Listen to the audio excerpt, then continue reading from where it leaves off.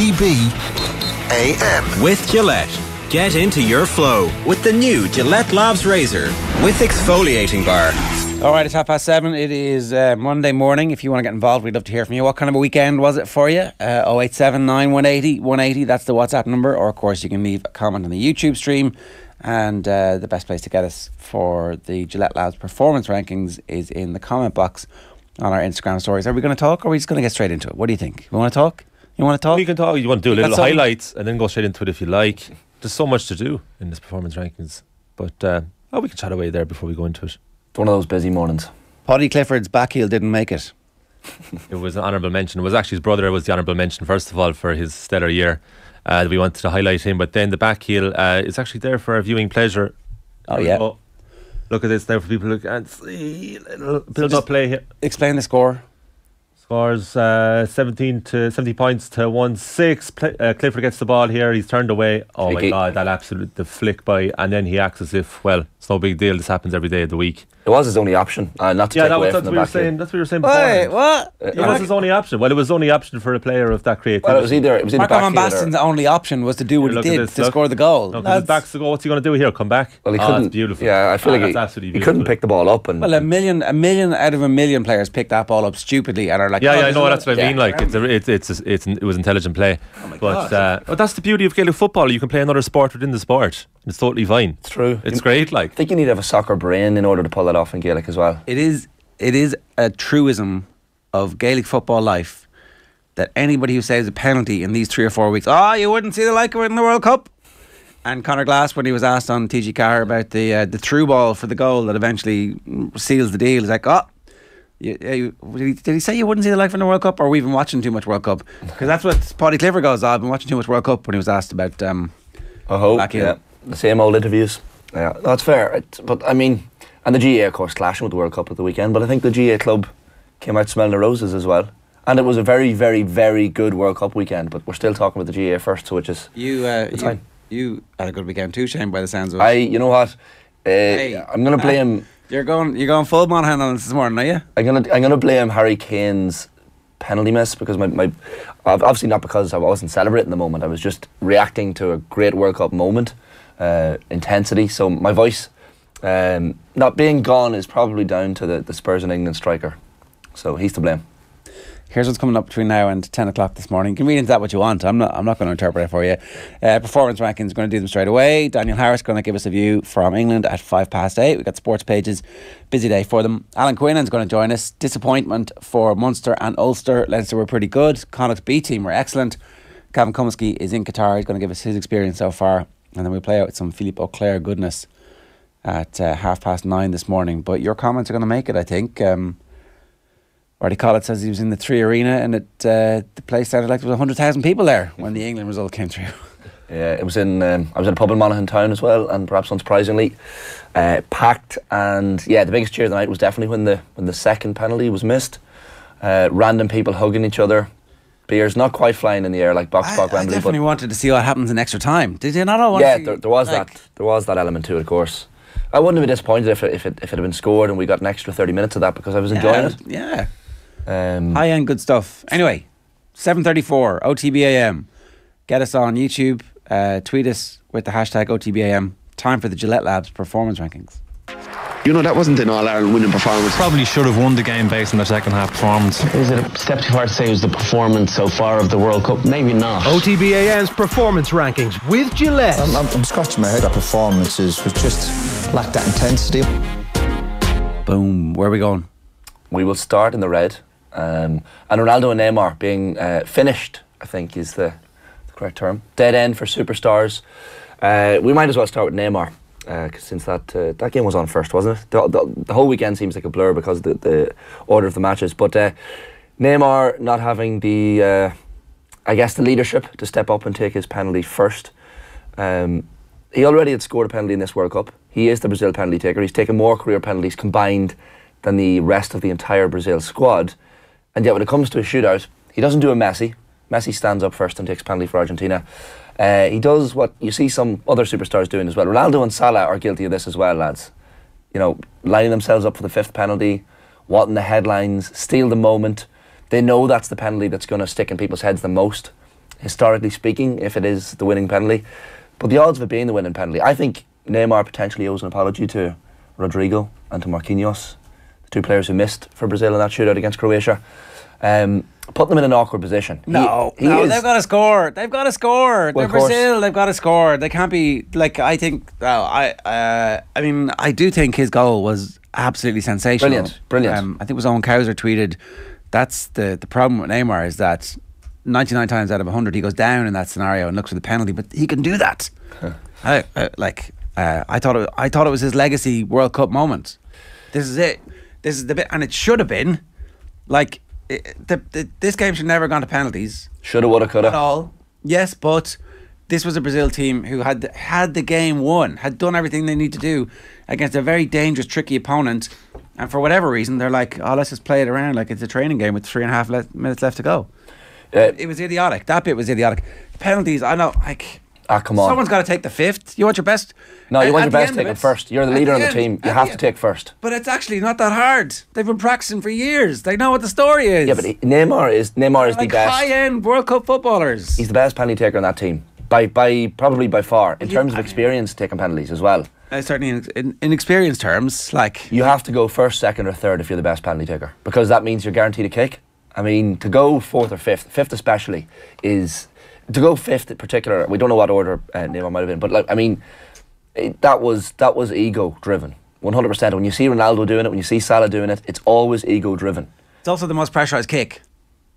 You know, at the end of it, you're like, lads, these, these are the, there's no pressure on you. I'm gonna I'm gonna take all the pressure. I I like look, someone has to take the fifth penalty. First You- penalty sets the tone. That, that's the pressure kick. You've got David O'Leary standing over. You're like, oh no, how did this happen? It's hardly it's hardly the pressure kick if you don't get to the fifth penalty. You don't even have to take it. Well, You're like, oh, I could bow out Because you expect the rest of the chumps not to miss. You can't. I do think I do think that the goal is going to get lost in the annals of this World Cup, and that's one of the reasons why this is now turning into. I mean, uh, it was it was predicted last week in that very seat column that this has been a great World Cup, one of the best since we've been alive. It has now catapulted itself into the realms of all-time great World Cups. Uh, those four quarterfinals were absolutely it's just incredible. Like, I mean, like the Brazil Croatia at this point was just an appetizer, and I thought, oh, this will be the moment of the weekend. Neymar's all-time goal that was going to finally catapult him into the true greats of the game for all the talent that he has. There's always a bit of a feeling that he's a bit of a waster, like that he could have done so much more with himself, even though he's by rights, you know, in the point zero zero zero zero one percent top successful footballers of all time.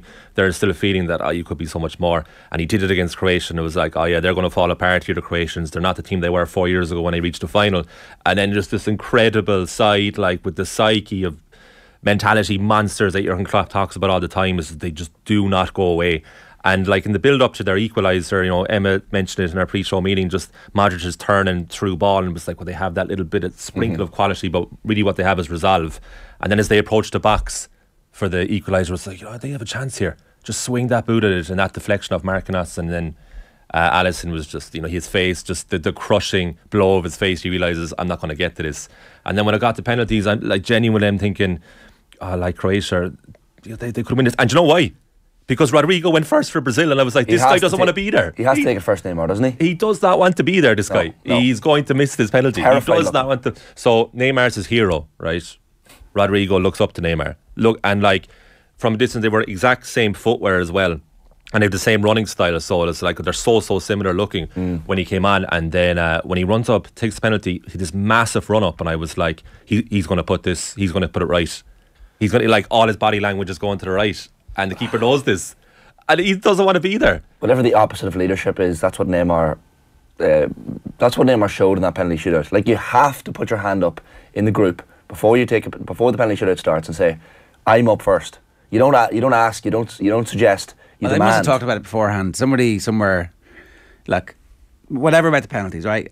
Like the game was there for them. They were the better side, clearly, and they, they couldn't get it done. And it's a it's a, a very like there was a, a, a long period when we were kids growing up from the the essentially the '86 World Cup. The 82 World Cup, you're like, okay, that's a bit strange that they got beaten like that. I, I don't remember that. But the 86 World Cup, they go out in penalties.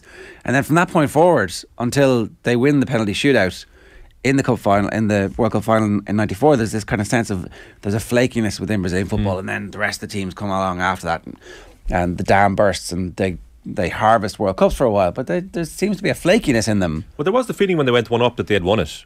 They, they were playing like they had won it.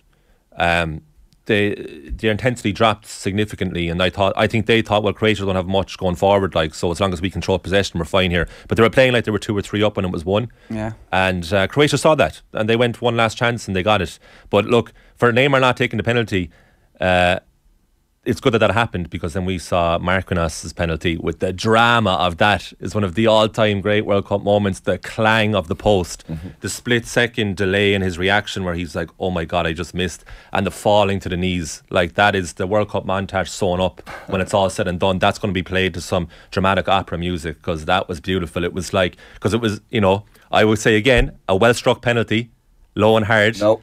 Smacks the post and it's the and it comes through so Obviously well missed. on the mics. There's nothing So, well so struck. There's nothing well struck about a penalty. that it hits the comes post. through so well in the microphones. If anything, It is if anything, he struck it too well, Shane. crushing Jesus, disappointment. The crushing disappointment. Are there any awards for his hitting, knees. for hitting the ball well and Yeah, hitting the post? exactly. Special prize. Uh, a Yeah, he prize. did everything. He did everything right. No, except did, hit the did, target. did nothing right. So what about Ronaldo? uh, Ronaldo, sorry, can I just point out Kevin Sheedy took the first penalty for Ireland in the, Itali- in the Romania penalty shootout. He can strike a ball well. He stood up as a leader. No one remembers that penalty, but he knew that he could score it. Everyone talks about David Leary going fifth grand, but Kevin Sheedy had the cojones to step up and say, "I can hit penalties well. I'm going first. You Neymar only should have learn." respect for people who go first, and the other four plus penalty takers for you were chumps. I think that's leadership there, stepping up first. I think this is all a bit of a red herring, to be honest. Fair, but uh, yeah, it's, it's not the point. But look, Neymar said he was psychologically destroyed after the game. I think he was psychologically destroyed before the shootout even started. But he just he just had his World Cup moment. Yeah. that was his Maradona moment. He should have been in good form then, ready to take the penalty. But anyway, you want to move on to Ronaldo? I think we should. Ronaldo, another man uh, who makes it all about himself. Walking down the tunnel in tears as the rest of his Portugal teammates uh, congratulated their, their opponents on a good victory. Walked around the stadium, thanking the Portuguese fans for being there. Uh, while Ronaldo, um, look, I'm not going to blame him for the tears because it's probably his last. It is his last World Cup. Let's be honest. He'll be 41 by the time the next one rolls around. Uh, but you never rule him out. But I mean, he made it all about himself. Uh, he came off the bench, had no impact on the game. Had one, I suppose, reasonably good chance that Bono saved for Morocco. Like, and to be fair, Gonzalo Ramos, who scored the hat trick during the week, was fairly irrelevant against Morocco as well. Portugal generally just weren't good. Um, and Ronaldo again. I know we shouldn't probably be talking about Ronaldo, but I guess uh, I think the Ronaldo Messi argument is now finished. We've we've we've we've all agreed, haven't we, that that there's no point even talking about it anymore because uh, Messi's shown a number of times leadership steps up. Um, now Messi's not perfect in, off the pitch in terms of his Saudi tourism stuff and the Qatari money, but uh, in terms of on pitch at this World Cup, there's been a gulf there. And uh, I think Ronaldo just made it all about himself. He came out with this big statement on Instagram after the match and pointing out that I never, you know, all these rumours about him falling out with Fernando Santos and, you know, stepping away from the team and being angry at not getting playing. He denied all that. But um, it's hard to deny that when he came off the bench, he had no impact. And then uh, the tears at the end were, were, I guess, the iconic image of this World Cup for Ronaldo fans. Um, yeah, I think it's uh, it's very necessary to talk about him this morning because, in theory, lads, this is the last time we'll ever really see him on a prominent stage ever. This Yeah. could be it for him. You know, he could play his club football in a in a lower quality league, and he'll rack up the goals, and we'll hear about him. I'm sure the goals will be seen online, and he'll probably score a screamer here or there. And then I think we'll be reflecting on in a few years' time. It's like God Almighty. His demise was so rapid in that last year because in his last full season at top level football, he scored 24 goals in all competitions for Manchester United and was at, at times the shining light in a very poor season. And then the next season onwards, he just he scored that goal he scored against Ghana. That penalty was his fourth goal uh, in all competitions and teams this season. The other goals, like two against Sheriff in the Europa League and one against Everton, which was a good goal at Goodison Park, and that was his last for United. And then he scores that one penalty against Ghana, and then he leaves the World Cup if he doesn't play again, having never scored in knockout stages. But yet, he's the first man to score in five World Cups, so he still has that legacy. He'll be happy with that. Ah, look, his uh, his his his legacy uh, is going to be an incredible footballer. Course, but the not, way a, not a great human being that everybody can aspire to. To you know, it's so many of our great footballers are. Uh, But there's a real possibility that this is uh, this is it. That we're never really going to see Ronaldo again properly. That's You all know, right. That could be it. He's he's had a good innings. Of course he has, but the, Time to get out around stage since um, someone else's- 2003. Someone else's go. Yeah, he's part of people's um, upbringing. You know, he's a huge part of it, and that's it. That's probably going to be the way it ends with him um, crying down the tunnel and being escorted away. As someone tweeted, like um, when I was young in Asda, I lost my mum. The shame of it being escorted away, and that's You, how Ronaldo um, finished his The career. 4K camera following him, following him down the tunnel Uh, was a bit insidious, but I mean, still. You, you feel emotional. Well, yeah, I think because it is the end of an era. Like I've just realised that this is actually this is a This is moment it, yeah. for you. Yeah, because I like this happens. People move on. You know, Yeah, no, I know. I, I'm under, I understand how time works, but Yeah. I'm just saying it's um, you know, it is the end. Really, like that's the last we're going to see of him. And I look for it's been a long time now since I loved him because that was really in the noughties, as Shane has already alluded to himself. We all know Shane's opinion on Ronaldo at this stage. He's sick to death of him, but Shane still appreciates the 03 to 09 era of Ronaldo. But I think he's just you know one of the greatest players of all time. He's going to kind of uh, fade out now. as, as Ra- ra- rather than the Zidane or Cantona go out with a bang, he's just going to fade away because he's going to want to score as many goals as humanly possible before he stops having the ability to kick a football. So that could go on to his early forties. We may not see him unless unless someone sees fit to redeem this guy's career to top level. Someone Um, could do that. I could see him playing a couple of seasons in the championship with somebody trying to because there'll be goals and there'll be money and there'll be English and Uh, there'll the be English. Championship. Like, ah, Jack, come on. well, uh, so I was listening to Rob McElhenney the other day, right, doing uh, an interview about He can join Wrexham, bring them from the National League North. seasons. whatever they are. Seasons three and four have not yet been renewed. What would happen? But like, it's just some some kind of revenue share. The the money is insane. No. I mean, uh, is that a serious suggestion, or I don't know. Nothing's. you're just testing if me and Colin are awake on this Monday morning so far? Column's not, so you keep going there. Go on. so Uh, Ronaldo's in the red. Ronaldo's in the red. Will we move on from the red? I do think that like um, if Pepe just hits the target, like Portugal had many, many, many, many, many, many chances. They did. They should have like They should have, fair but- play to Morocco, but like Yeah. I think uh, Portugal will be sickened that this is the chance for them to win the World Cup. What are they doing? What are you doing? Yeah, it, it was a, it was an open goal. Like it was there for the taking. We saw the performance in the last 16 game, and you're thinking this Portugal team are, are brilliant, just batting away a Swiss team that, that everyone knows is a good knockout team. But I don't know. I, I I think the writing was on the on the wall as soon as Ronaldo was coming on. He looked very focused coming off the bench, and and look, Some goal. It was some. It was some goal. It was like eh, supreme athleticism from Morocco. Like it was Jordan-esque getting up there and still being able to. Yeah, it was much. game management from them. But, But the um, Portuguese goalkeeper also no good. No good. Yeah, th- look, they had a number of fellas who didn't step up uh, at the weekend. But I mean, you can't take it away from Morocco. But I mean, the Ronaldo tears is what we'll all. And that's what makes the back pages, that sort of stuff. But Ronaldo knows that. He knows that there's a little. You know, he'll still be in the headlines. I don't think. Uh, I don't. Th- I don't think he'll ever play in England again. Uh, I don't think any club in England would have him. I mean, you- you're not. You're not seriously suggesting he'd be lining out for Blackburn Rovers next year, Jaron, in the Championship. Are you? I do think that he could continue to play to these 40, 41, 42, right? Yeah. Like, and there's a level that you're like, will I play in the MLS? Yeah, I probably will play in the MLS. But like, there's also enough money in some of those places. There's a there's a good chance that some rich American owner looks at what Wrexham are doing and thinks, well, I'll just like skip six years and the TV part of it mm. and buy a team in the championship, and then Ronaldo could easily end up playing in the championship. That's like. Uh, his ego. His ego is far too big for that. But if you're if if you're in front of a crowd of thirty five thousand week in week out because you've you've signed Ronaldo and he's forty one and he's scoring thirty seven goals and you're getting but- promoted But his ego would only allow him to play at the and you're top, giving top him teams. you're giving him two hundred grand a week. His ego his ego's broken now. Where's he? Get? He's going to Saudi Arabia. Yeah, but that, that that's that, that's for the money. I mean, he's like, Yeah, right, but- it's either ego, it's either footballing ego or money. And All right, okay. the Saudi money is just. Well, look, next it's- We already have Rory on to hear about the Blackburn shout. That's why I picked- that's why I yeah, picked I knew you Blackburn. picked that for Rory. Yeah, Yeah, yeah. he's not happy with that at all. Um, look, he could he could very well he could very well be back in European football again a few years' time. Someone's going to take a chance at him. Someone will need some goals. Probably a like A Nice. Sam Allardyce style January emergency signing. He could well be back, but I don't think he will be. I think that's it. And I think uh, this is the bookmark in Cristiano Ronaldo's career. It was the Nadir against Morocco, where he wasn't really effective when he came on. Mm. Was he? He he completed five passes, three of them were intercepted. That was his uh, impact from 51 minutes onwards. pretty poor. That's it. Yeah. But look, Ronaldo finished at international level. Well, he, look, he could come back and win the Euros in a couple of years' time in Germany. Not saying it's going to happen, but uh, you never know with Ronaldo. Uh, and then Neymar, um, the coward that is, that wouldn't take the first penalty. So that's uh, in the red. We'll move on to the next one. Ulster and Munster, um, slightly in the red. Although we might start with Munster because although they lost to Toulouse, you'd have to say There are bright shoots there.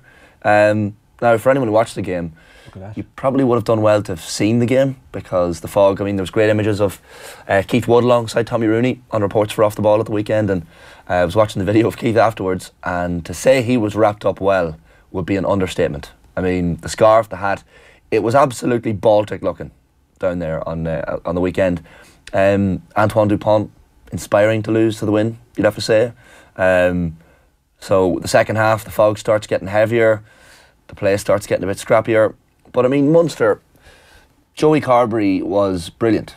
This is the Carberry we want to see starting in the Six Nations, lads, isn't it? This is the. I, I don't know where you all stand on that particular point, but there was only five points separating these two teams late on, um, and you kind of were thinking Munster going to push on here, potentially find a winner. Uh, couldn't quite do it, but you'd have to look at the, the game now this Friday. So they're visiting Northampton Saints. Probably the perfect team to play. Like hammered at La Rochelle at the weekend, Northampton. So you're thinking if Munster can get this back on track and try and get out of this group, then they're going to have to get a win this Friday night. So it's it's kind of come at them fast. If you lose your opening pool game in the in the Heineken Champions Cup, uh, it's fairly difficult for you to push on from there. Um, but I think if you're a Munster fan this morning, you're fairly encouraged because even before this game, three game winning streak that includes the South Africa game, of course, against the South Africa Select. Um, but there were plenty and plenty of positives, and Graham Rowntree will be fairly pleased. Uh, starting strongly, they were aggressive, they had intensity in, uh, in the ruck as well. I don't know. Uh, regardless of the of the, the five point defeat, lads, I think if you're a Munster fan this morning, you're thinking, ah, that was all right. More fog than in the movie The Fog, says Mark C in the YouTube comments. In fairness, it was pretty foggy. It was absolutely, it was insane at one point. Craig Doyle at the end was like, ah, I hope you enjoy that second half. I didn't see much of it. But when the when the TV broadcaster was telling you, that I didn't know, I don't watch it. Something Mm. happened, I couldn't, I couldn't see. It was uh, tricky. I don't know if Munster, I don't like, you can't be happy. You got to be happy that some progress is being made, but like, it's a long, slow road to get to where they want to get to. If now all of a sudden it's okay to be beaten at home, Uh, Know but it's I in the context of where Yeah. context of where they are. So yeah, that, yeah, like three okay. defeat or three wins before that. Yeah. South Africa, Connacht, Context of where they are, as Edinburgh, not so bad. But then to lose to the multiple time champions, top of top fourteen, you know, it's like, okay. all right, it's reasonable. But even even under Johann van Graan, they managed to draw the game last year and, and take it to Where penalty you won kicks. Van Graan. So- yeah, that's where they are. but last year they did better when they had a, an inferior coach. Considering the start, yeah, but under Rowntree they've been like so inconsistent to start with. Had that mini decent run, so I think it wasn't like there was a mutiny at home and They, I think they, they put the conditions of the mind and the opposition into the factor that all right, this is probably where they are at the moment. Uh, Five point defeat, one score. You have to remember the 22. So First happy, game. You're happy. Not happy. I'm Yeah, saying you're- it's it's you're, uh, uh, it's uh, a reasonable. Uh, reasonably acceptable defeat. What would I mean, we live in this age now where every time your team loses, that it's an absolute outrage and like just straight into the red of Ah, performance spare me rankings, the whole- just like this. Spare me that old man shouting. Well, you have to out. assess performance as well, Jer, for sure. Yeah. I mean, And I thought, I thought in the first half, I thought in the first half, they were creating chances, and they, and there was a period in that first twenty minutes where they were dominant, and they got one try, and uh, Toulouse got one opportunity, and they scored. on. Yeah. Look, Toulouse are an excellent side, right? But Munster don't have that killer dog just yet, and we need to see more of that. And I, I just, it's great that the, the patterns of play are emerging, but when when does the killer instinct emerge? When do we start seeing them benefiting from good play? Yeah. Um, Maybe it's not this year at all. I don't know. Maybe and maybe that's what the expect, uh, expectation is. And they almost feel like they're going through the rebuilding phase still, and that that you, you need to give them some credit for that. I mean, if they're not going to be the end product straight away. I felt like uh, a couple of years ago when Toulouse beat Munster uh, behind closed doors during the COVID era, I was thinking, oh, before the game of the weekend, I was thinking, well, the fans are there now. There's 22,000 odd fans turning up in Thomond Park during the fog and the cold. I thought that's going to maybe push them over the line here. The concern is that they couldn't towards the end when you get within five points and you're thinking, can they push on here? I know Carberry missed the kick in the first half, for example. It would have been tighter than than it uh, was in the end, but I don't know. I, there, there were definite positives to take. You, ha- you have to look at the positive. I- The concerning thing for me, I said the fact that they have three three games left. Northampton Saints on Friday. They have to lose away in January. That's that's the that's the worry for me. tricky. That's a pretty tricky game. So Ah, yeah. Gone are the days of Munster losing Homer. it's absolutely seismic news and it leads the news agenda. That's probably the Yeah. biggest reason that it's it's sad demise. But still, in the context of where they are, it's not so bad. But your beloved Ulster, ah, here. they got a hammering. Sorry, but I mean, I don't know. I don't know if anyone expected that result, 39 points. to Considering the nil. season that they've had. Yeah, yeah. I, I was uh, fairly shocked. Now, if you look at the, the men they didn't have involved, Ian Henderson, John Cooney, Rob Baloucoune, um, not to mind the travel chaos that they had as well. So they had the, the flights cancelled. They were at the airport the day before, um, and sitting at the airport, flights postponed, pushed back a number of times. They eventually gave up. Came back the next day.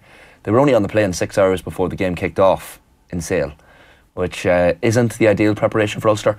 Look, they're a well conditioned professional outfit, so blaming the travel chaos for the result would be a bit stupid, but it's still not, a, not an ideal preparation when you're getting on an airplane six hours before you, you play a Heineken Champions Cup game. Still embarrassing. I, I don't, Yeah. you know, um, fair enough, right? You, you, Put the excuses out there, sorry, I've got them out of the way. yeah, a really embarrassing performance from Ulster, like uh, cataclysmic in terms of where they thought they were versus last season when, you know, they were incredibly unlucky and they were very, very exciting. And even when, uh, you know, it was, was it 27 uh, nil with like 15 minutes left to go, basically. It was like 13 minutes left to go. And instead of them being the ones who scored a couple of tries to, you know, uh, take some of the bad luck off or show that actually we've showed up here today, you know, work their way in, get past that, they completely fell apart. Yeah. Eh, like, and to put this into context as to how rarely this happens for Ulster, nilled for the first time ever in European competition. And it's the first time they've been held without a single point in any competition in 14 years. Really, really embarrassing. Like, really, really fundamentally embarrassing for Ulster. And because we, we, we thought that they had made so much progress. Like, it looks like they have strength and depth, notwithstanding the fact that they're missing those players. Like, you know, the players who were replacing those players are all very good players. Yeah, and, but the uh, yeah, hundred percent. But the, the concern for me was that they couldn't even they couldn't even have a, a anything resembling a spell of possession. Like they couldn't, they literally couldn't keep the ball. Never. Like the, the defense was clearly porous, uh, and any time Sale got the ball, you, you thought this is going to be a try. But the the really worrying for Ulster thing for Ulster would possibly be that this could have been worse. Like it was thirty nine points to nil, and I'm sitting here on the Monday morning going that could have been worse for Ulster. Um, they just had nothing to offer. Absolutely nothing to offer. I'm not saying there's any going to be any pressure whatsoever necessarily on Dan McFarland. This is look, the first game of the Champions Cup. There's still time to recover. Um, but you look at the games. So Ulster have La Rochelle in Belfast next Saturday. Big game. I mean, all of a sudden it takes on cataclysmic proportions that match. All of a sudden you're looking at that game going, well, if Ulster were to lose again, and to lose not quite as embarrassingly, but they're at home, so even to lose by you know 10, 12 points to La Rochelle next weekend, all of a sudden the pressure coming on the management is fierce. And it shows how quickly rugby can come at you because you mentioned it, Colin, like, they've been good this season. I haven't. Uh, any Ulster fan will have enjoyed watching them playing so far, but uh, the game on the game on the weekend was just um, very, very, very concerning. All right. So I don't know where they go. That's it. They're in the red. What? Let's let's keep going. They deserve it. So we'll, we'll bring the amber in. Uh, Quinny coming up a little bit later on. So if you're watching this on YouTube, go and uh, see what Quinny has to say, uh, or subscribe to the OTB Rugby feed wherever you get your podcasts. England in the amber. Uh, and the way Colin, you pitched this to me last night was bottlers or Valiant. What is wrong with you? this is the question. How are they in the amber? Well, where do you think they deserve to How are they in the amber? What what what what what bit of this is like? Oh, you're in the amber. Oh, well done. They played Oh. well. Um, Sunday night. How did how did Denmark do Sunday against? night WhatsApp uh, reconstruction. Ger, I was thinking there uh, we should put England in the amber because like it's actually up for debate. Careful was now. that a disgrace or was it uh, was it valiant? And you were like, oh, that's a great idea. Yeah, because it allows us to talk about how nonsensical. So they, you they, think- the, the, they're he just wanted to throw shots. If you go out in a World Cup quarter final when you've got the chance to win the game, it's a it's a sporting disaster, right? Like we, we can all Yeah. accept it. It's not really a disaster, but it's a disaster from an English football perspective because it's a World Cup that's right there for the winning. You just listed off all the players that Ulster are missing. Yeah. The players that France are missing include the Ballon d'Or winner, the best centre midfielder that Europe has had over the last 10 years, Paul Pogba, who they managed to turn into somebody, and a bunch of other players, including their first choice left back. The second choice left back seems- turns out pretty good, you know. Yeah. Like, with all due respect, when you have them on the rack, you have to win. Otherwise, there's something wrong. This is your golden generation. In four years' time, they'll still be really young. It'll be great. You haven't a clue what's going to happen in four years' time. You don't know that every player is going to go in a straight line and continue to be successful. Four years ago, everybody would have said, in four years' time, Jack Grealish is going to be great. He'll be at the peak of his powers. Can't get in the team. Can't get in the team. Like the notion that this is like, oh, England are building towards something. It's we're we're right there. No, you had the moment. You had the World Cup champions on the rack, and you could do nothing with it. Mm. You could do. You didn't know what to do. You were like, oh, we're creating chances here, or we're having pot shots from distance. Like it's just and the the fallout has been we were the best team in the tournament. I'm watching the French go and they've given um, who was it? They give Declan Rice the Thibaut Courtois award on uh, French social media because it's like, oh, apart from the goals, we were the better team. It's like, yeah, hilarious. The French are laughing. They are laughing because they know at the end the only thing that matters is what the score and scoreboard says. The only right, sorry. The notion that England are in How did Denmark do against France? Great for 15 minutes. They were brilliant. And how did how did Denmark's World Cup go? Oh, shite. That's what it is. And the Danes are sitting around going, well, we were brilliant for 15 minutes against the French. Can I remind you that this is the Gillette Lab performance rankings, not results rankings? Okay. Fair point. Fair point. They played, I thought, quite well. The game really could have gone either way. It pains. I would love to say, oh, they battled it and France were way better than them. But like, we could have the exact same conversation about France mm. If England had taken their chances versus France chances, which weren't much better. It was an extremely even game. I thought massively France, I thought France were much better in the first half. I thought England were sensational in the second half. I thought they played really, really well. Very good. Uh, and now, when Harry Kane stood up for this penalty, we've all discussed this pre-show, and I've had it o- over a weekend. Where were you for the Harry Kane penalty already? As a where were you moment? And Kathleen was saying she was in a pub in Dublin. She said it was the loudest cheer she's ever heard, and she's been at that pub for other games, including Ireland, and it was still the loudest cheer she's ever heard. We have the picture on screen. Like, Where's the ball? Where's the see it. ball? You can't see him in the, the white of the England uh, Where is the ball? fans in the Oh, it's just over the crossbar. I see it there, uh, yeah. touching the crossbar, like goes miles over. We still Johnny don't know it is. Wilkinson. Still don't know. Uh, the pub I was in also went absolutely balubas when Mm. he put it over, and I was delighted because I had uh, I was supposed to go for dinner at nine, right? And I was like, "This is an 84th minute penalty." It was like, first of all, Harry Kane's going to score this penalty. Like, there's no doubt about that in my mind. It's like I'm going to be on my phone during dinner, watching extra time, just like I was for the previous 24 hours Netherlands against Argentina, which was like the greatest World Cup game ever. Um, and I was like, oh no, I'm going to miss it. So I was so happy for many reasons that he put it over. Then I woke up Sunday morning, and the most common WhatsApp video I was sent was Harry Kane with a video with Jonny Wilkinson from the 2018 Comic Relief on BBC. I couldn't believe that was we four have it. years ago. I believe we have it. Here we we go. go.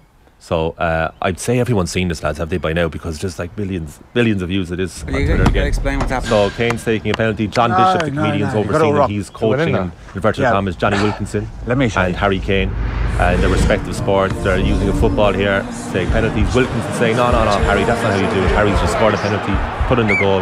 Wilkinson steps up for his penalty, puts it miles over the bar. Harry Kane's like, but you put it way over. And he was like, yeah, yeah, that's how you do it. That's how you do it in my sport. It's like, okay. Harry's like, yeah, That's okay, okay. I I'll try that Cup myself. That's how It's, I won a World Cup with England. You talked over the, the good line there, Colin. Go ahead, do it again. Take two. That's what he does there, Harry Kane. Yes. Harry, much better. That's the one. I mean, look, It's good. Go ahead. we love it. We do love it. Let's be honest. The the Monaghan pub I was in was very sad and emotional, as you can imagine, at that moment. Um, a lot of sympathy for Harry Kane in the pub. Um, it was upsetting. It was very upsetting to see him sad. Um, They missed it. They missed what? They missed your line. what was the line? That's how you win the World Cup. They didn't miss it. I think they did. They missed it when, when Jonny Wilkinson said it. That's how you lose a World Cup. Um, look, they're in the amber because there are positive shoots here. Do you think it was in his head? Of course, it was in his head. That, Johnny that, Wilkinson that shoot. Oh no, sorry, that there, that their moment. No, no, not at all. The Brain is very complex. It's a very, oh, no, very no. complex organism. What was in his head was, if I score this penalty, I'm England's leading goal scorer of all Yeah, time. that's another point that that's a big, big thing. He was level in Rooney at 53 goals. Didn't Lineker miss the penalty that would have made him? I'm fairly sure that Lineker missed the penalty that would have made him the outright To do it of at a the World Cup, Harry. Oh, to do it at a World Cup. I would say more so it's my club teammate, and he's he's thinking, oh, Hugo's thinking I'm going to do the same thing here, and he, by the looks of it, went for the exact same thing second time around. and he got too much on it. Lorraine- No, I don't think he went for the same thing. It wa- it was, I think he was aiming for the same corner, Kane. But it's too, It was middle too down left. the middle.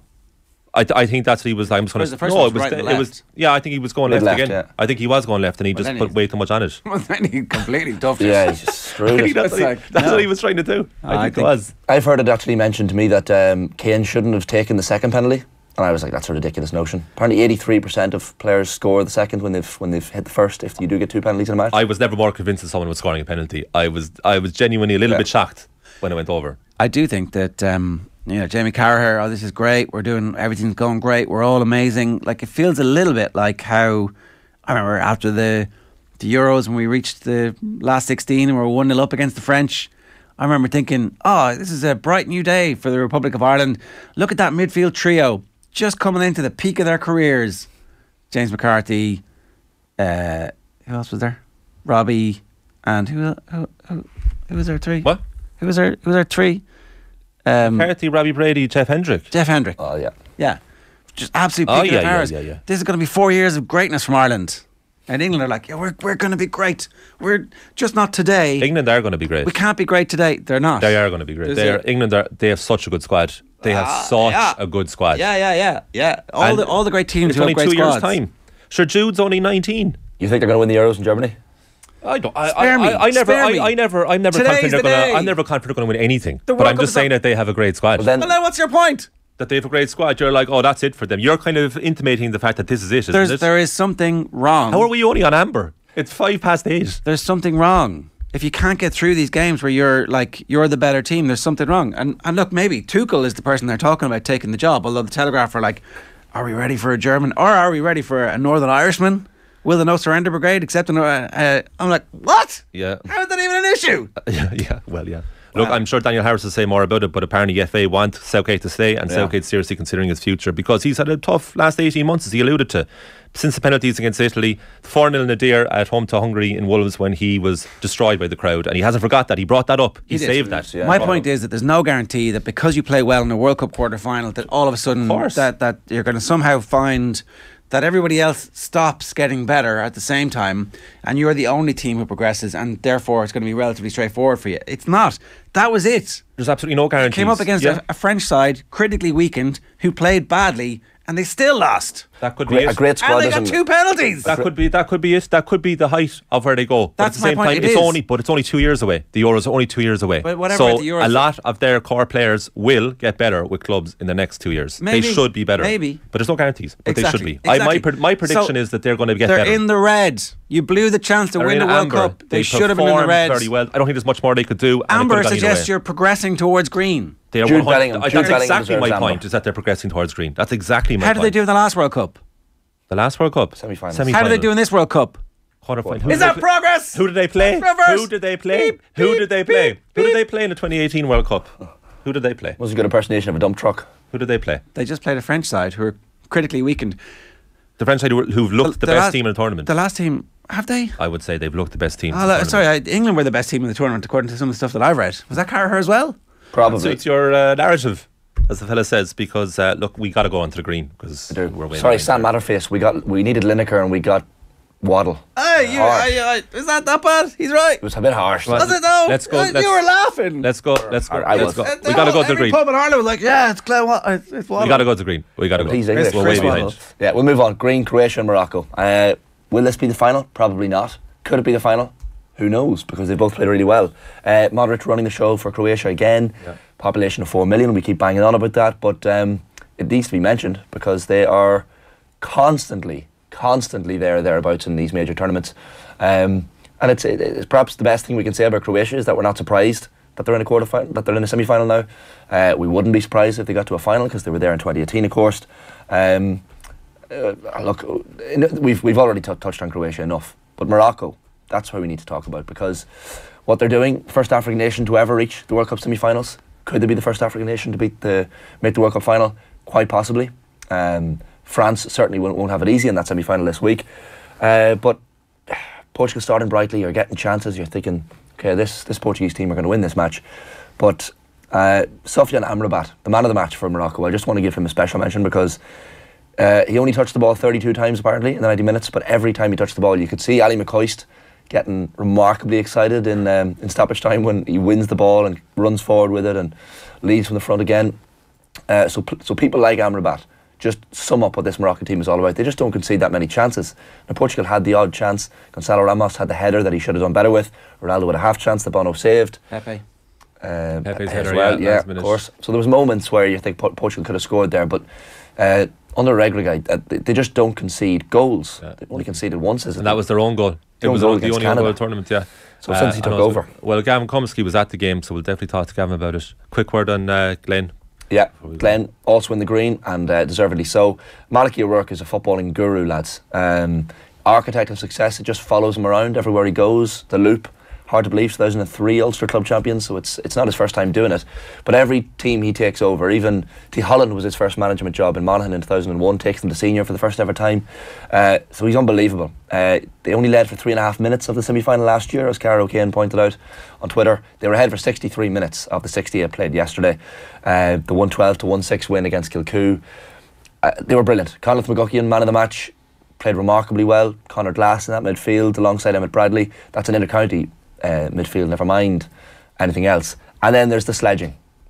We heard about Connor Glass afterwards. Will we have the clip? Connor Glass speaking to Ashling O'Reilly after the game. Here's what he had to say. Talk to me about the intensity out there. I've covered a lot of games. This is probably one of the most intense games that I've covered from on the pitch to up on the stands to on the sidelines. Yeah, um, that that's Kilcoo sort of that's the, that's the way they play, and we had a match. We had to match their intensity. Um, like they've been to three Ulster finals. They're all Ireland champions last year, so it's that's a testament to those boys to come back year on year and stick at it. All those articles this week about the Branagans talking about like this is what they do and this is they're so focused, and you can see why why they've reached this pinnacle. Um, but I guess we had that age, we had that heartbreak from last year, um, and that's what got us over the line today. Yeah, very intense game, but a lot of respect out there because you do respect what Kilcoo have done for the game and for Ulster football. Uh, there was a lot of respect, but there's some respect that I don't have for some of the players. Like, um, but that's just that's just the way football is. Um, like, I'm not going to say like what stays in the pitch, like stays in the pitch, like, but it's it is what it is. What are you talking about? Maybe the midfield battle. That was one battle in particular. That was a very tough one. I'll say nothing about it. All right, it's like there's some sportsmanship you like, like you can get on with, but then there's some, I guess, stuff you can't just forget. Like, so that's what it is. Yeah, uh, that was that was very interesting because you you don't. He was he was clearly Human. he was clearly livid. Yeah, I mean, he's holding back there, something there. obviously, needless to say. uh, but only only just like he's there's something inside him that is like something really bad was said. Something bad happened there, and he is very very annoyed about it because because at the end of the game, when it went full time, uh, him and a couple of others were still involved in something. You know, normally once the once the final whistle goes, there's an immediate okay, grand or whatever whatever's happened's happened. But there wasn't that stage. I did feel like when the pitch invasion happened, this could get a little bit tasty. Mm. And then the flares were like, are the flares masking anything? Show us a bit more of those scenes. And then they're celebrating on the sideline. It's like fair play to Malachy. It's amazing, like incredible. What an Yeah. incredible career he's putting together. But Connor Glass, he's a tough man, and something had pissed him off to the point where Ashling's like, you know, it's a nice, it's a nice like, oh yeah, of course we respect him. No, no, no, no. I'm, I'm not giving you my respect after that. I don't respect that. I mean, next year it's gonna Sorry. tasty. Hundred percent. It's created a rivalry that we've we've been looking for probably in Ulster club football again since the cross days. But the the speech from the captain Conor Carville as well, Jar afterwards, like he referenced people saying they were mentally weak, they lacked leaders, they had no characters. These Glen lads had a bee in their bonnet. And they've read everything. Hundred percent. And the Branagans during the week doing all their interviews. He was like, "Oh yeah, I mean, obviously it showed us what it means to them, but there was a there was a sense of like, none of our boys are going to be doing those AIB gigs. Yeah, yeah. Let's just wait and see now if any of them. And look, I was I was um, I was on to Conor Glass last week, and I'm sure he won't mind me saying he was keeping the head down. He very much wasn't going to talk last week. Malachy O'Rourke was talking to him last week. He was very much keeping the head down. They were like, "We'll talk to you after." Somebody else if can we do win." that. Exactly. So uh, he left it to them. Uh, they were brilliant, and and like I don't know, Enda Gormley has to get a mention here for all the work he's done with this team. Like this Glen team with, with the best minor team in Ulster, the best 21s team as well, and they've finally kind of uh, like look, they love their football up in Maghera. Myself and Joe were at a roadshow up there during the year when Derry were on their uh, run towards the All, Ireland semi final. They were class, and uh, they deserved it yesterday. The the standard as well of club football with the split season is only going to get better, and yesterday showed it. Um, I just look. I, I said it a couple of weeks ago on the show, and I'm not saying I told you so, but I did say Glen would, would probably beat Kilcoo in the Ulster Club final. I You do- are you are saying I told you so, and you did also for for you know this this clip won't do hundred thousand views, but Yeah. go on. I did say and, and stand by it that Glen will go on and win win the All Ireland this year. Um, and I said that two weeks ago, mind you, before this game happened. Uh, I think I think Glen will have too much from Cullen. It's a it's a repeat, by the way, of 2004 when uh, Malachy took the Loup from Derry against the Galway and Connacht champions Caltra, both the uh, first time provincial uh, semi finalists at that point. So uh, go on to play Moycullen. I think they'll have too much from Cullen. And then in the final, I mean, it's going to be Kilmacud, let's be honest. With all respect to Kerins O'Rahilly's and stick that on your dressing room wall if you want. But I think the Kilmacud Glen final could be an all-time classic. Uh, I just fancied Glen to get over the line. All right, 15 minutes past 8 this morning. Big call from our Ulster football correspondent in the Gillette Labs performance rankings. That was your Gillette Labs performance rankings. After the break, Daniel Harris is going to join us to reflect on England's dramatic World Cup exits. And uh, here's some Malachy O'Rourke talking after that game with Ashling. Malachy O'Rourke, sum it up. Ulster champions, how does it feel? Yeah, it's a brilliant feeling. You know, we, we knew coming here today that we were going to have to put in a massive performance to, to take the crown of, of the reigning All Ireland champions and Ulster champions, obviously. Hey, and I suppose we got that. Uh, you know, started off the game really well and, and, and uh, had in a bit of bar. Know, when we were able to get five points up, obviously the, the goal they got back and uh, you know put them right back in the game, and then the penalty miss was was a big one as well. But I still felt at half time the boys, you know, were, were, were in good shape. You know, you know the, the they were you know, I suppose ready for for uh, any setback and, and just keen to push on the second half. And it took us a while, but we got there in the end. And coming into this game, did you hammer home to them how important to get a good start would be?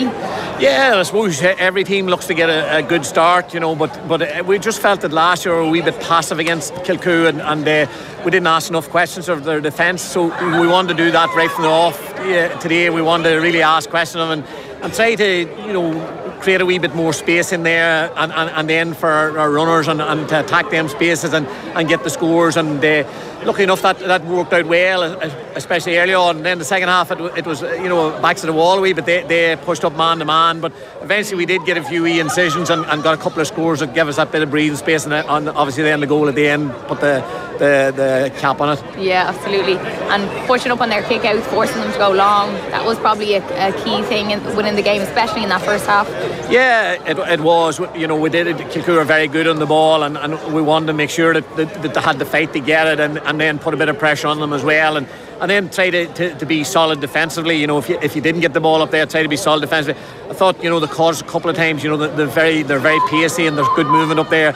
And the us obviously for the goal and, and, and even the, the penalty as well. But but overall, you know, our defence was good. You know, the, the boys showed tremendous hunger right from the start, all around the field, and got a couple of great blocks there towards the end of the game. You know, and it, it was lucky enough enough to see us through. OTB AM. This is OTB Sports Radio, Ireland's first and only sports radio station. OTB Sports Rugby. Do I think England are going to win the World Cup? They can because they're still England. They can get it together. They've got a lot of players to pick from. But I think it, it was unlikely with Eddie, and it's probably still unlikely with Steve Borthwick or anyone else. Subscribe to the rugby stream on the OTB Sports app now. Are you a sports fanatic who loves to travel? Then sportspass.ie is for you. Log on for the chance to win the trip of a lifetime in 2023 to a top global sporting event. Eight winners get to choose from 12 incredible prizes, including trips to the Women's World Cup in Australia, the Super Bowl, the Masters, and WrestleMania. All prizes include return flights, accommodation, and tickets for two people from anywhere in the world. That's sportspass.ie. You win, you choose. OTB AM. With Gillette. Get into your flow with the new Gillette Labs Razor with exfoliating bar. Right, 18 minutes past 8. Daniel Harris joins us to uh, parse over what happened with England in the World Cup. Daniel, a nice easy question to start with. What did happen?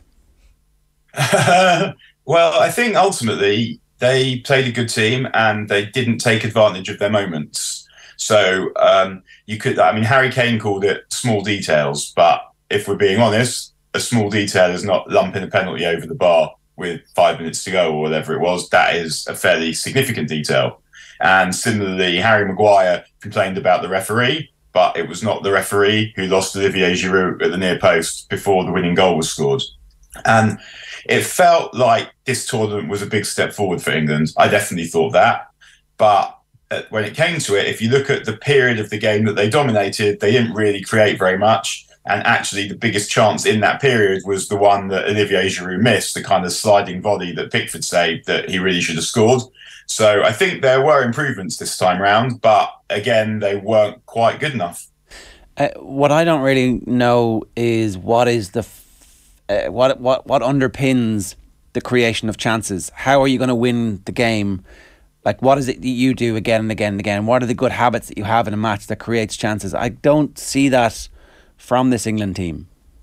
Well, I think that I mean France didn't really create too many chances either. If you like, France had got Raphael Varane and Dayot Upamecano playing at the back. They're good players, and then in front of that they've got Rabiot, um, who's also a player in really good form. So you shouldn't necessarily expect to be tearing them apart and pummeling their goal because that's not something that France can allow you to do. Um, I think what England did this time around was um, they replaced Mason Mount, who was who was kind of in theory the number ten, who's meant to do lots of the prompting around the box, with a different kind of player, with uh, Jude Bellingham. So that and, and Jordan Henderson played in midfield. So physically, I think England were a stiffer proposition in midfield but it meant that they were relying on the wide players to, to create opportunities rather than that man that was Mason Mount. And there is probably a different balance that they could find if they could find that player. Um, I think that they probably, once they've settled into that formation, will also find different ways of doing it because obviously England created loads of chances against Senegal. They created loads of chances against Iran as well. But doing that against France in the quarterfinal of a World Cup is different. And I don't think anyone's going to be creating chance after chance against that France team. And sometimes you also have to accept the fact that the opposition are good too. Sure, but how are they trying to create chances? Even if they're not doing it, what are they actually trying to do to to give Harry Kane an opportunity to score from open play? What what are they trying to achieve? Uh, I think they're trying to. Well, the, the way that they're structured is that they've got one inverted winger and one winger keeping the width. So the idea, I think, is for Foden to try and get around the sides and to try and stay nearer the touchline and have Luke Shaw underlapping with him and overlapping with him. And then Saka, um, who's playing as an inverted winger, the plan is for him to wander in field and start trying to look to beat men in that area. And that was that looked England's likely a source of a goal in the in the second half.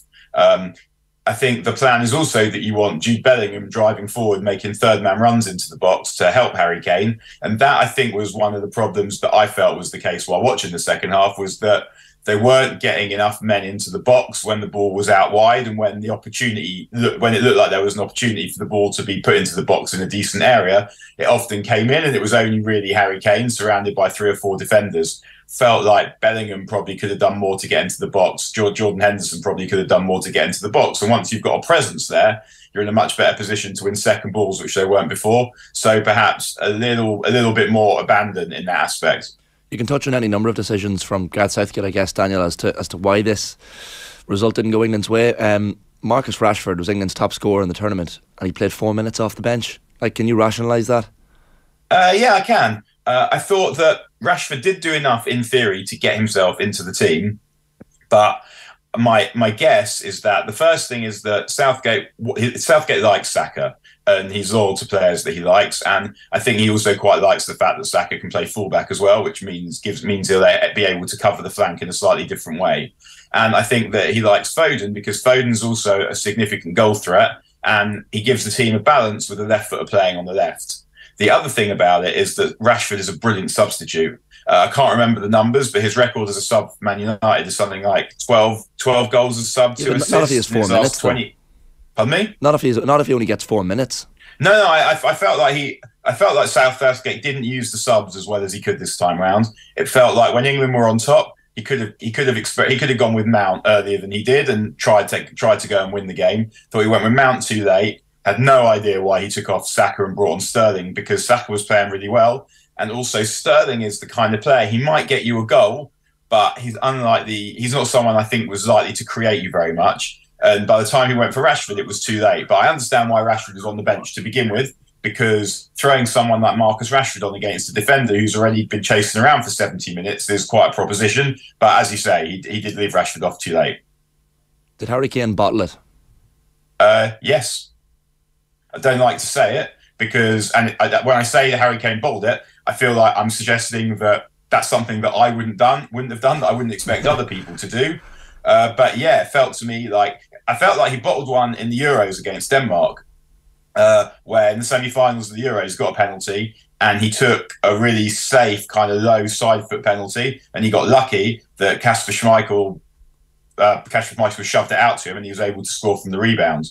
Um, I thought this one, his body position wasn't quite right as he came in to take it. He was kind of crouching, and then his head goes back, and the ball goes over the bar. But when I say it, I think I think he bottled it. I mean, of course he, of course he was nervous. It was a penalty with five minutes to go, and in a in a, a World Cup quarter final against France, and England's team were behind. So, yes, I do think he bottled it, but I don't say that particularly as criticism, although it is also his job not to bottle it. It is understandable why he felt in that situation. I guess you don't have the safety in numbers that you do with a penalty shootout, where the goalkeeper might save you, one of your mates might save you. You either do it or you don't, and that is very difficult to handle. I'm sure. Uh, it's interesting watching the various commentators talk in the aftermath of the game about what this defeat means. And I understand there's a process you have to work through the various stages.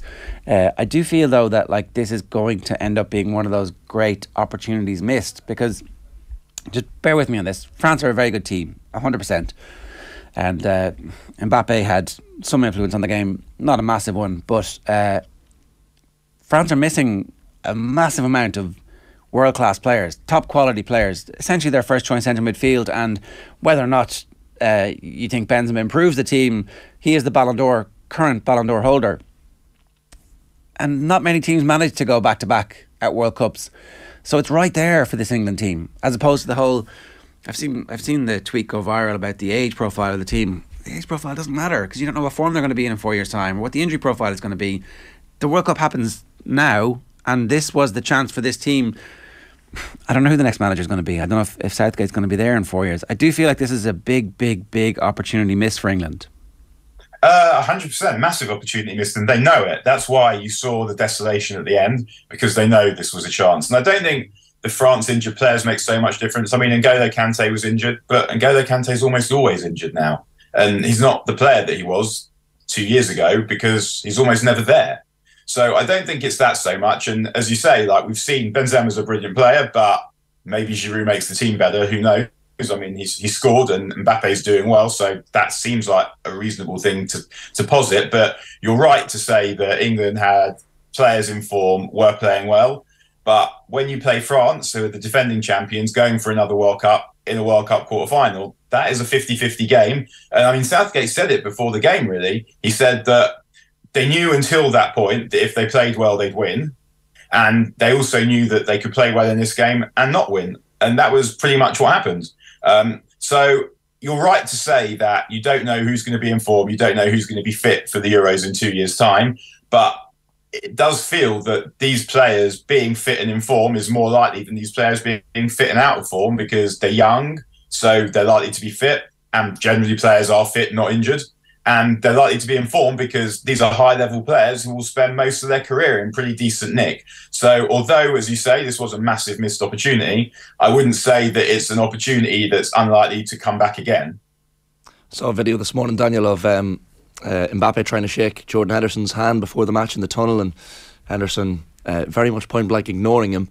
Um, like, is an argument, and then like France start the brighter of the two teams. Like, is there an argument England might have been almost too hyped up for the game, given that this is England, this is a World Cup quarter final, putting a lot of pressure on themselves, maybe? Uh, I wouldn't. I wouldn't read too much into into that handshake, particularly. That different players like to approach games in different ways. Some mm. players like to be dead focused, and I guess Jordan Henderson's one of them. And some are happy to be kiss, kissing and cuddling in the tunnel with the players that they're mates with. And uh, no, I, I mean, I'm sure the England players were nervous, but I didn't watch it and think this, the game's got big on these particularly. It's just France started well because France are France are a good side. One and there's no reason to if you hadn't have seen Jordan Henderson not shaking Mbappe's hand and France had started the better, you wouldn't necessarily have said, well, England are too focused mm. or England taking it too seriously. You just would have expected that was one of the possibilities that could be the case. So no, I, I, I don't think England played like a team on whom the game got big. Uh, who do you think should slash would replace Southgate if he does end up leaving? Like, who are the the runners and riders in your view? Uh, I mean, I had a look at the list just before, and there was a lot of names on it: Mauricio Pochettino, Thomas Tuchel, Wayne Rooney, Frank Lampard, Graham Potter.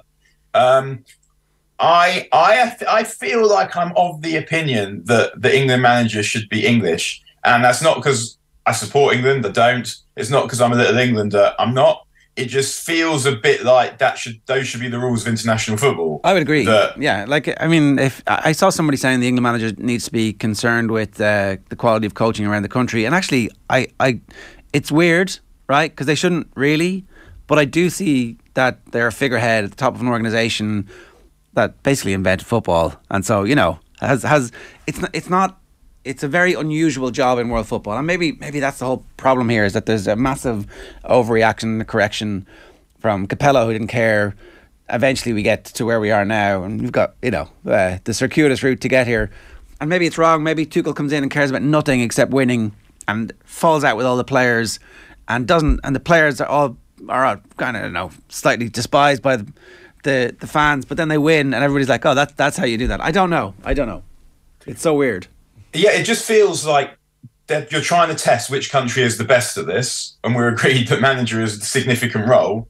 Then why would you not have the manager being from the same country? Why would that not be the rules? And I guess the, the only reason I think not is that you want the game to develop in countries that are less traditional football powers and perhaps they need some outside knowledge. I don't, but that's really the only reason I can think of for that to be the case, because otherwise it seems contrary to what international football's about that the manager shouldn't be from the country. So I would, I mean, I think that I, I, I mean, as I said, I'm not an England fan, but if I was, I would probably want Southgate to stay because I think that they took big step forwards during this tournament. I thought in the last World Cup they got pretty lucky with the draw, but they they just weren't they weren't as good a team, but they got to the semi-finals because the draw worked well for them.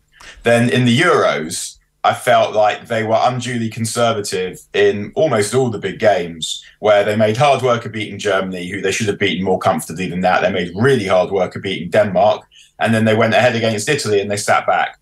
This time round, it felt like there was they, they were more, they were much closer to settling a way of playing that was working and that was sustainable. They had options on the bench. They had attackers in form, and it felt like until until those subs that we talked about, it felt like South, Southgate was doing a pretty good job of husbanding his resources, and it felt like they were a much better team now than they were two years ago. And when you're thinking about whether a manager should be replaced, that's what personally I'm always looking for is, is progress and hope. Do I think that that team is progressing? And do I think that the people that follow that team can ha- will, will be hoping will have, have hope that is not yet extinguished that this manager is the guy that's going to make it better?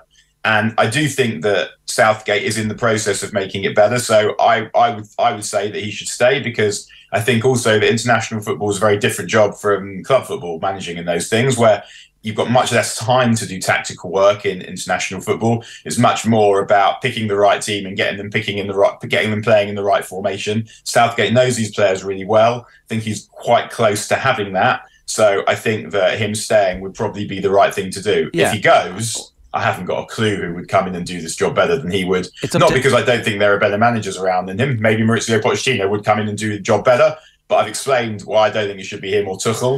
And Yeah. then you're looking at someone like Graham Potter or Ray Rooney or Frank Lampard, and I'm not sure we don't know anything about them really. Like Frank Lampard is, I mean, he failed at Derby, he failed at Chelsea, and he's not doing particularly well at Everton either.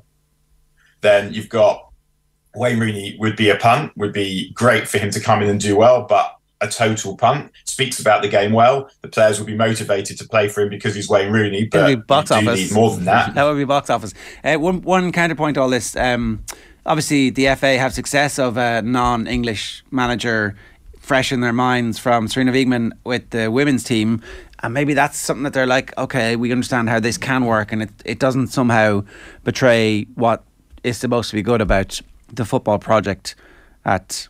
Sorry, but the Republic of Ireland's greatest ever manager was English. I don't think nationality comes into it. Well, I think if you're England, things are slightly different, though. Maybe, maybe. You know, but I mean, I just think Pochettino it comes Tuchel are into the- available. I just think it comes into the rules. I mean, I I'd, I'd love for them to go and get Emma Hayes from Chelsea. I think she'd be good with these players. I think she'd do a brilliant job. I mean, it would never happen. But um, and I'm not saying that the England men's team should just be able to go and pluck the manager out of out of the best team in the England England, England women in the uh, WSL. But I think Emma Hayes would be someone that I would love to see have a go at doing this job. I know you have to go, right? But the one thing I would say about the point you're making earlier on about how this opportunity will come along for them again, like the last time that Brazil won the World Cup was 2002, and we assume that these chances will keep coming for teams because of age profile or talent funnel or whatever, but like it doesn't. It just football teaches you that you get an opportunity at bat, you get a 15 minute period in the game, you have to crush the opposition in that 15 minute, and they couldn't do it. I, I, agree with all of that, but I wouldn't say that Brazil didn't have hasn't the opportunity hasn't come around for them again. The opportunity came around for them this time, and and they botched it. The opportunity came around for them last time, and they happened to get hit by that Belgian team's so good performance in knockout football, more or less. They had the opportunity, but it is in a in a in a, in a tournament. It is it's it's a very small window of opportunity because some because things can happen and you don't have the opportunity to redeem it. It's not even like the Champions League where you get another leg. So they did have the opportunity, but bringing it home is difficult, which is why the last time the World Cup was retained was Brazil in 58 and 62. That's is very hard to do. So I, I'm think I'm not saying that England will have will win the next Euros, but England will be in with a serious chance of winning the next Euros and the World Cup after that, and probably the Euros after that as well, because the conveyor belt of players that they have coming through now is extremely significant and extremely serious. But taking that final step requires lots of things to fall into place, and that may not happen. Daniel, good stuff as ever. Thanks a million. See you, ta bye. It's uh, Daniel Harris giving us some thoughts there. Uh, if you've got views, and I know you do, 0879 180 180 is the WhatsApp number, or you can leave a comment in the YouTube stream. And a reminder OTBAM is brought to you live each morning by Gillette Labs for an effortless finish to your day. There's a positive from England. There was a moment, I don't know if people saw the clip of the Kane missed penalty. Straight away, Kane's head is in his hands, he's in despair, and who runs over to him but the 19 year old Jude Bellingham to console him and say, Let's go, we still have time here to get a goal. Yeah. And like that was impressive. And even at the end, the cameras are trying to get to Kane, of course they are, and you have Pickford and Trippier pushing the cameras away and saying, Have a bit of respect. Yeah, stop, stop. I mean, stop, lads. Yeah, obviously the cameras want to get Pickford Harry being Kane. the big lad, come on. Yeah, Oh, giving Jordan. it, giving it loads. I can see how you, you, want to look after your teammate in that moment. Yeah, but look, look, you know, I just, uh, I'm just not sure. I just don't think that you can go. Oh, we made progress. Everything's getting better. We're getting better. We're go-. It's going to happen. It- that's not how it works. It doesn't. No. It doesn't happen. This, this could be Mayo. This Yeah. is Mayo. They've just scored the two own goals in the All Ireland final. We're definitely going to get there. We have to. Look how close we were. The greatest team of all time couldn't even beat us without us scoring two own goals. We're definitely going to win at some point. That doesn't happen. it, it reminds me of, uh, and I bring everything back to snooker, of course. But I was chatting, remember chatting to Ronnie O'Sullivan off air uh, a few years ago with the Crucible about Kyren Wilson, who was reasonably young at the time, and he was like, I was like, surely Kyren has the talent to go on and like he's the right to go on and win a, a, a world title at some point. He said, no one has a right to go and win a world title. Same with England. They, on paper, yes, they should win a major tournament trophy, but nobody has a right to. Brazil don't have a right to. It's whoever shows up on the on the given year, and it takes four years to come around. So Is there anybody important missing from England in terms of injury in, in this World Cup? Like Ben White apparently had a fight. They, they said they played down reports that he had a Yeah. fight with a member of the backroom team. Uh, Maddison obviously got injured in the last game and, and was obviously completely pointless then bringing him after all the hoo ha. Would might might have been interesting to see if he'd been fit, if he could have done anything. But like, that was their full squad. it, it was Like that's their full right, squad. and and this is a World Cup where everybody is losing players who are key players who are going to be important for us. I, I do think any criticism of Gareth Southgate though is unfair. Like he's been there six years, he's done brilliant things with Gareth this team. Southgate's a, a, a good manager, not a great manager, and I I just think that like, Is he not a great international manager? well, I mean, World Cup semi final, World Cup quarter final, Euros final, kick of a ball from winning the Euros against Italy two years ago. Yeah, I mean, it's Yeah. not bad. England hadn't been in a major final in so so You're long. saying great, like great, like you know, Well, all time great. After Alf Ramsey, he's the best England manager there's be, ever been. Yeah, okay, but did he? Does that not make him great? I don't think so. I think that you've got like a a big broad definition of great. If that's Well, the standards are high. Of course, winning a major tournament is, is the bar that England have set because of Didier 66. Deschamps, great international manager. You know, Yeah, yeah, for sure. But like, does, South, does Southgate not come under the level of great, given how many so-called great managers came before him? Capello, Sven, like Venables, all Sven, these guys. Sven, I don't think anybody thought Sven was great. No, no, but I think I don't know.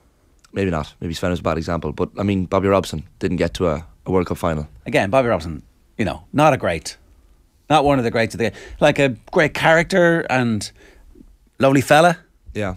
but like, uh, you know, we're talking great means Cruyff, He's one of the great England managers. Zidane. Ah, well, now you've changed it. Well, Well, he- he's one of the great Garretts. He's a great international Even the manager. laugh in the office. I think he'd struggle to have uh, a club a club job after this. I think he's he's suited to the international role. The Americans, the Americans are already talking about him as a potential. So, uh, right, it is eight thirty nine. Tune into the lunchtime wrap today, bringing you all the latest sports news. That's with thanks to Deliveroo. Check out the app for some great match day meal deals across the World Cup. Deliveroo, food, we get it. Right, Carl is here. Carl, how are you? How are you, lads? How's it going? We talked about Glen's win in the performance rankings. What did you make of it? Highly impressive. Highly impressive. I think Shane, you called this last week that they were going to be. Thanks. Thanks You're for very bringing nice, that up. of, nice of you to bring that up. He wasn't going to. Oh, wait, he already did. yeah, gotta Twice. keep saying it. Yeah, yeah. Some game, wasn't it? It was uh, really high standard. Um, yeah, I mean, Glen have, have been a remarkable story, really, that they struggled to win in Derry for so long and then they've come along and dominated now. And Kilcoo had their stint as All Ireland champions, but it's gone now, and you can't really argue with it. Yesterday, I thought Glen fully deserving of the win. They got the late goal to put the, the icing on the cake. Um, but it's going to be fascinating to see how they progress now into the All Ireland stages. And we have to say, I mean, Malachy O'Rourke, and you know all about Malachy O'Rourke. I, I, I think Malachy O'Rourke is one of the top managers, one of the great greatest GAA managers of all time. And sorry, let me just let me just point this out. Hang on, uh, sorry. Are you still are you still in your Gareth Southgate post? or do you mean this? No, I genuinely I think he's in the top the top five GAA managers there's ever, there's ever been. Really? Ever? Malachy Yeah, ever. Right. I'm telling you. Okay, Uh, you see, Alex, it's- let me it's- explain. it's- Okay, well, I will. But you, you do lose credibility when you say Gareth Southgate is great and you come along. So just so for context here, Gareth Southgate no longer great. You've changed your mind. But in, in this instance, go on. Right. Malachy O'Rourke, his first job in management, Tyholland, Monaghan Club, uh, very small parish, 2001 he takes them over, brings them to senior, senior grade for the first ever time, right? He moves on then, uh, he, he's busy, he's, of course he, every team's after him then at that point. The Loup, he gets the Loup job up in Derry. The 68 years they never won a Derry Senior Championship. He wins it, goes on, wins Ulster.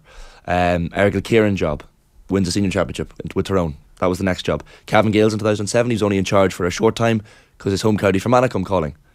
First ever Ulster final in 26 years. Replay against Armagh. Fermanagh have never won, to this day, an Ulster Senior Football Championship title, and he came closest as Fermanagh manager. Um, Monaghan job 2013, his first year in charge, wins Division 3, wins Ulster for the first time in 25 years. His second year in charge, wins Division 2, gets to an Ulster final. His third year in charge, stays in Division 1, wins Ulster, and for the remainder of his tenure, keeps Monaghan in Division 1. Like, he- he's, a, he's, an, he's an absolute guru in, in, in Monaghan. And, and, sorry, Glen had never won a Derry Senior Championship. Takes them over, wins it, wins it again this year, wins Ulster for the first time. And I think they're going to go on and win an All Ireland club title. I've said it already. I think they beat Moycullen in the semi, and I think that final against Kilmacud, if it is Kilmacud, uh, is going to be an absolute classic. Malachy O'Rourke is without a question. Just look at his record, look at his CV. Everywhere he goes, he touches gold. He just turns teams into into winners. He's a serial winner. What's he going to be doing during the summer? Well, the rumour was that Donegal and Meath were after him in this, uh, during the summer, and he didn't want a If you're- any job. If you're, I mean, okay, so you've convinced me here, right? But if you're one of the other uh, managers who are trying to knock Kerry and Dublin off their perch, you're Mm. like, look, no commitment. Just just come to a few training sessions. It- you, know, we- you don't you don't have to marry us. Just have a look. Exactly. Just come down, see if you like the vibe. Yeah, maybe he goes out in a high if he wins the All Ireland with, with Glen this year. Then it's right. But, I, but I'm not talking about like full time. You know, like completely pressure free. You come and backroom job. Exactly. Yeah. Like, and then obviously take your time and do whatever it is you want. Because uh, maybe he sticks around with Glen for next year to see. Possibly. And I don't know. Like he's got, he's got the sorry the strength and conditioning as well of, of Glen. You could see they weren't going to run out of steam. Mm. Ryan Porter deserves a lot of credit. He follows Malachy around every job he gets. He was with Monaghan for that entire time as well. The S&C guy, is he? He's yes, uh, he's unbelievable. He coaches the team like he's just incredible. Um, and that that should shouldn't go unnoticed. But what he's done to that Glen team, like they were powerful at the weekend. Like Glass and Bradley in the middle are just unstoppable. Like the Mm. Yeah. sledging was an interesting one. Yeah, there's a very. Int- I'm sure you've spoken about Ashling's interview with Conor Glass after that's uh, on social media at the minute. But there was obviously a lot of tension between the two teams. Glass Huge had not calmed down when he was talking to her. He Yeah. was, he was like they just won. There's an outpouring of emotion, but he was still angry about something. He was. So it must have been relatively serious. Yeah, um, very interesting interview. Uh, and before he spoke to Ashley, and I know there was loads of people coming up to him uh, just for autographs and little kids and stuff. And football in Derry seems to be on a real high Mhm. uh, right now, and it's definitely the intercounty stuff has transferred to the club scene, um, and they certainly have a swagger about them now. Someone said five or six Derry clubs have won the won the Ulster in the last twenty years or something maybe. Yeah, they've a really good, they've a really good uh, club championship. Yeah. really good club championship, and um, if Rory Gallagher can keep that going now at uh, county level, you know, they, they could be back in the upper echelons for a long time. Yeah. The, the one thing I'd say about watching the game at the weekend, and look, this is hardly new news. There was a black card at one point for Kilcoo. I think it was Paul Devlin sent off the black card. Uh, look, we've spoken about this a number of times. During that ten minutes, I think the ball was maybe in play for three. Right. And like the Kilcoo boys kept going Yeah, down. yeah, yeah. There needs to be. Uh, whether it's for the entire game or for just during black cards, but there needs to be a the clock needs to be stopped during those 10 minutes for the black cards for for every foul. Now maybe you do it for the entire game regardless. You just have 20 minutes of injury time at That's the what I was going to say, dude, like the World Cup. Although No, but then the the, black is- cards. yeah. You see, But then, yeah, that's true. But the, the every Needs to be team during doing that time period. Every every team has has copped on to it's, trying it's, to kill it's time. It's terrible yeah. to watch that because you know as soon as a black card happens, you're like, this next 10 minutes is going to be putrid because the, the team with black card are of course going to go down on their one knee. So stop the clock. Either during that 10 minutes or for the entire game, just stop the clock every time there's a break. And if a player goes down injured, whether he's injured or not, I'd have my suspicions in that 10 minutes whether those Kilcoo players were really injured, but just something needs to happen in that aspect of the game. Look, it was still a great game regardless. Have regardless. Kilcoo gone from like being everybody's favourite team, great underdog story, to now The pariahs in the That's space what of happens like when you win. That's what happens 60 when minutes. you win. but they, they've been brilliant though, haven't they? And the, the the quality of the game yesterday was class. Like the start of it particularly was, was ferocious. You straight away, you're like, this is unbelievable. This is this is going to be the game that everyone built it up to So be. just for a lot of people will just see the scoreline and go, it seems fairly one-sided, but it wasn't at all. No, they got that late goal Mm. for- in it at a time, uh, Glen. So they were three points up. It was very close. Um, very little between the teams all the way through. And eight wides to three. Kilcoo had eight wides, Glen had three. Probably the shooting accuracy helped as well. Like if Kilcoo had taken some of those chances. Who missed the penalty? Who was it missed the penalty? Um, I can't remember who, who missed the penalty for Kilcoo. It was Uh, Kilcoo missed the penalty. Yeah, but like I mean, there were chances there. do You know. Yeah. I, I mean, it was just disappointing for them. But Kilcoo, all of a sudden, as you say, they're a small parish, but they're probably the villains now. Like they go from being the team that were the underdogs to All Ireland champions last year.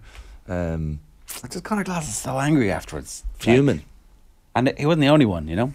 So obviously something was going on. Yeah, But I They played each other last year as well, so obviously something maybe lingered on, did it? Yeah, I mean, like I'm sure the sledging in Ulster club football is is as bad as anywhere. It probably is. What's Like, your What's your experience of Well, it? Well, there's stories of lads like, uh, they're like saying horrific things to people, but also like you'd be getting girlfriends' mobile numbers of, of fellas who they know. That's that the old one. That's the Tyrone- Of course. Yeah. But like, I, I don't know what was said to Conor Glass. Clearly, something that stuck in his head. Um, it, it, it- you could see, you almost read between the lines in what he was saying, but maybe that that's what it takes sometimes. And, and as he said, sometimes you can't leave it all on the pitch. Um, he was quite at pains to say that. What a great competition the Ulster Club is. Ah, it's What a great competition. So What- good. What else is going on?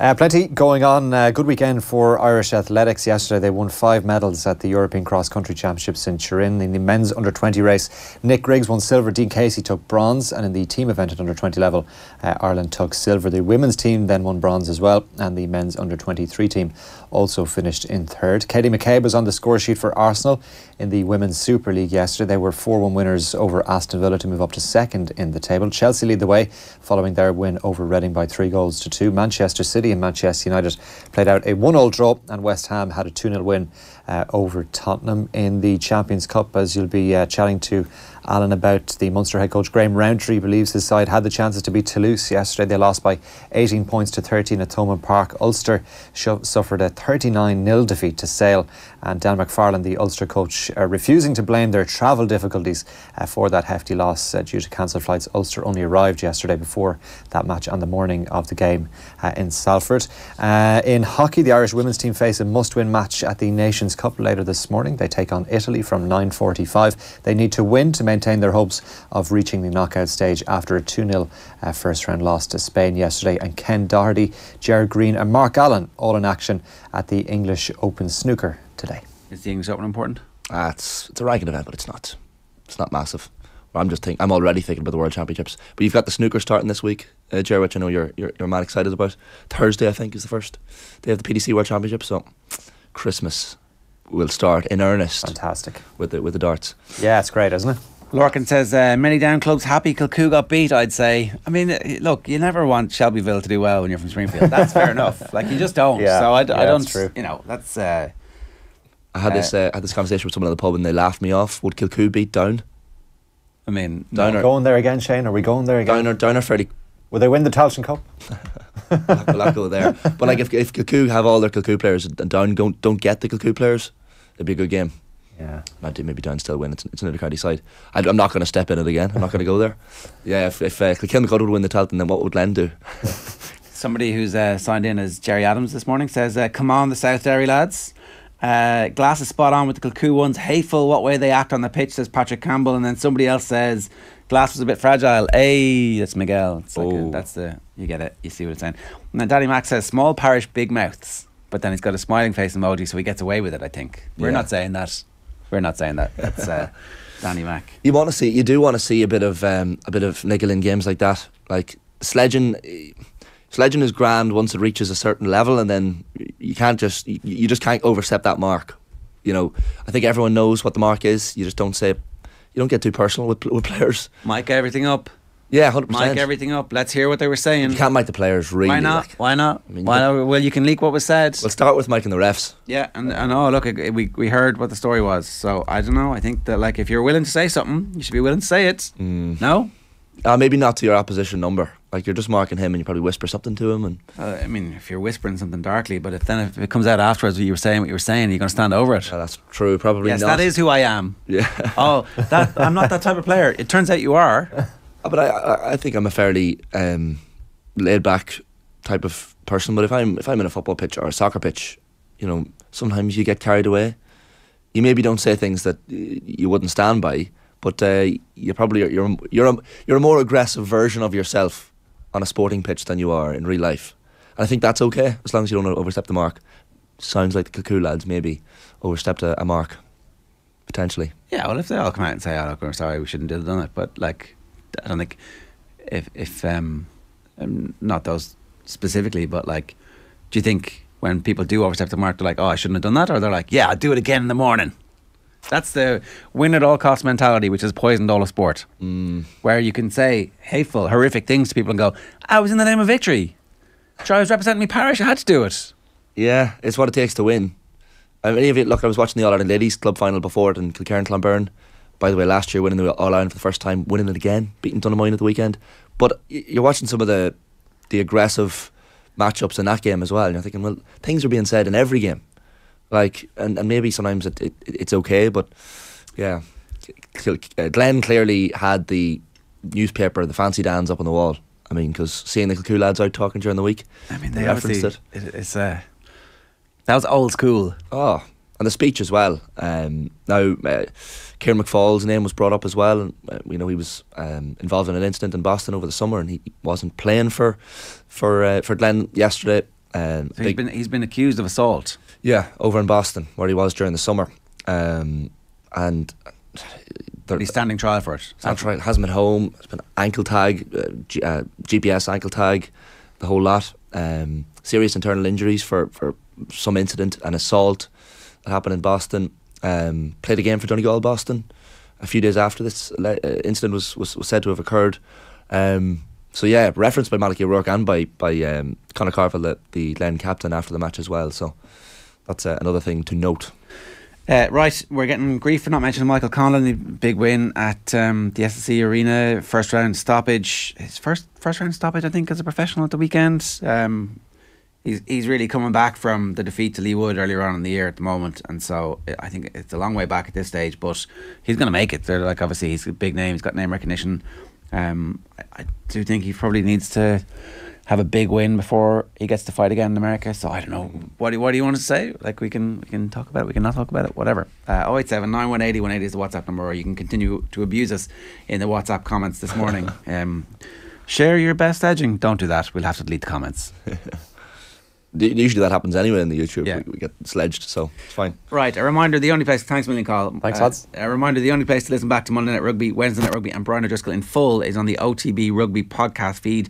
You can subscribe now on the OTB app. While we're on rugby, time to say good morning to Alan Quinlan. Alan, good morning to you. How are you? Morning, lads. Very good, thanks, Sharp. Tolman a bit cold and a bit um, a bit miserable by the end last night. Yeah, it was. People couldn't uh, couldn't probably see the play um, in the second half with the fog and, and the icy conditions. So it was um, it was difficult at one stage. Antoine Dupont, I think, on 53 minutes, asked the referee about uh, the danger of, of not being able to see the ball and see the players. Um, referee said he was fine; he could still see the touch, the touch flags, the four corner flags. But um, yeah, it was. Um, it was really, really cold and foggy, and it probably played a little bit of a part in it being a bit of a stop-start, uh, slow tempo to the game in the second half, in particular. we were talking about this earlier on about the context of the quality of the performance and the opposition, and you have to take all that into account. In the aftermath of the game, the dust has settled. What's your take on, on where Munster are at the moment? Um, it's it's a strange one because it, it, it, was flat, and I think Toulouse managed to to take the sting out of the crowd, and particularly in that second half, take you know the sting out of Munster. I think they started really well. The first 20, 25 minutes were, were, were very good. They held on to the ball a lot. Um, they were trying to attack, vary their game, and that was certainly uh, very, very pleasing to see the way they, they came out and tried to play. Um, when you lose by a score, Jer, against uh, an incredibly powerful side, uh, was ten of these guys won a Grand Slam with France, so they have a lot of experience, a lot of quality, a lot of power. Um, I think it's a bit frustrating for Munster because that second half they probably just made some mistakes and errors, and a lot of it was a fair bit of it was down to pressure from Toulouse and their physicality. But I think when they look back, they'll be a little bit disappointed with some parts and some mistakes they made. Um, but where Munster are at, I think it was it's you'd have to be upbeat because it's very hard to be critical of Munster given the depth and the quality of the opposition compared to themselves and say, well, that's not good enough and they should should have won that game and they did X, Y, and Z wrong. So um, it's the start of, of of a lot of change and that's been spoken about a lot since the start of the season. And they put themselves in a position and were, were kind of going for it at the end, albeit, you know, they had to go a long way down the field to try and get the score to win the game. So um, I think where they're at at the moment is is for some players and and for fan, Munster fans and stuff. It's it's that's the level that's required. And know, I don't think anyone going into the game would have thought Munster, you know, even with Europe, um, can can potentially win Europe. That's that's not a reality at the moment. So um, they could have easily got got a win, but um, struggled against that power, and they've got to get more depth in the squad, and that's that's, so that's, that's a known fact. That's the that's the key bit here. Like, um, do you feel like the coaching ticket is uh, progressing and getting the best out of this group of players, and that the main issue is that they need more players, as opposed to in the past we would have been concerned about the coaching ticket not having the ambition to try and and create a game plan that ultimately will be successful. Yeah, for sure. I think even if you go back to the game in May under the old coaching tickets, the quarter final and the Aviva, I think Munster's attack was was uh, they were a lot more ambitious than than we normally would see. So, um, but but now in particular, I think it'd be very unfair to be critical yesterday as to the way Munster played, in a sense that you know they weren't trying to slow the game down. Toulouse actually kicked the ball 36 times in the game. And that tells you, you know, France do that similarly as well with Dupont and Ntamack. Munster kicked the ball 22 times. That's a fairly low number. So, you know, they tried to run back Mike Haley, Calvin Nash, Shane Daly a lot when the ball was kicked down to him. Traditionally, we would have seen them just thumping the ball back up the field or kicking it up in the air. Now, a couple of times they had to do that. But I think there's uh, there's a little bit more freedom in the way they're trying to play. There was a lot of movement and little um, kind of evasion in in in in the, in the attack. A um, couple of times it hit up midfield. They try and come back down the blind side with set moves and strike plays and stuff like that. And sometimes it broke down because Toulouse actually really cut out Munster's time and space in the ball. Joey Carbery was was under immense pressure when he was getting the ball. Craig Casey when he was on the field. Paddy Patterson when he was on. So um, they were shrewd in what they were doing and they tried to nullify Munster. And obviously, when you don't have an X factor player who's just going to run out over people or do something magical, um, their collective was very good, I thought, Munster, and, and what they were trying to do and their shape. So that's encouraging.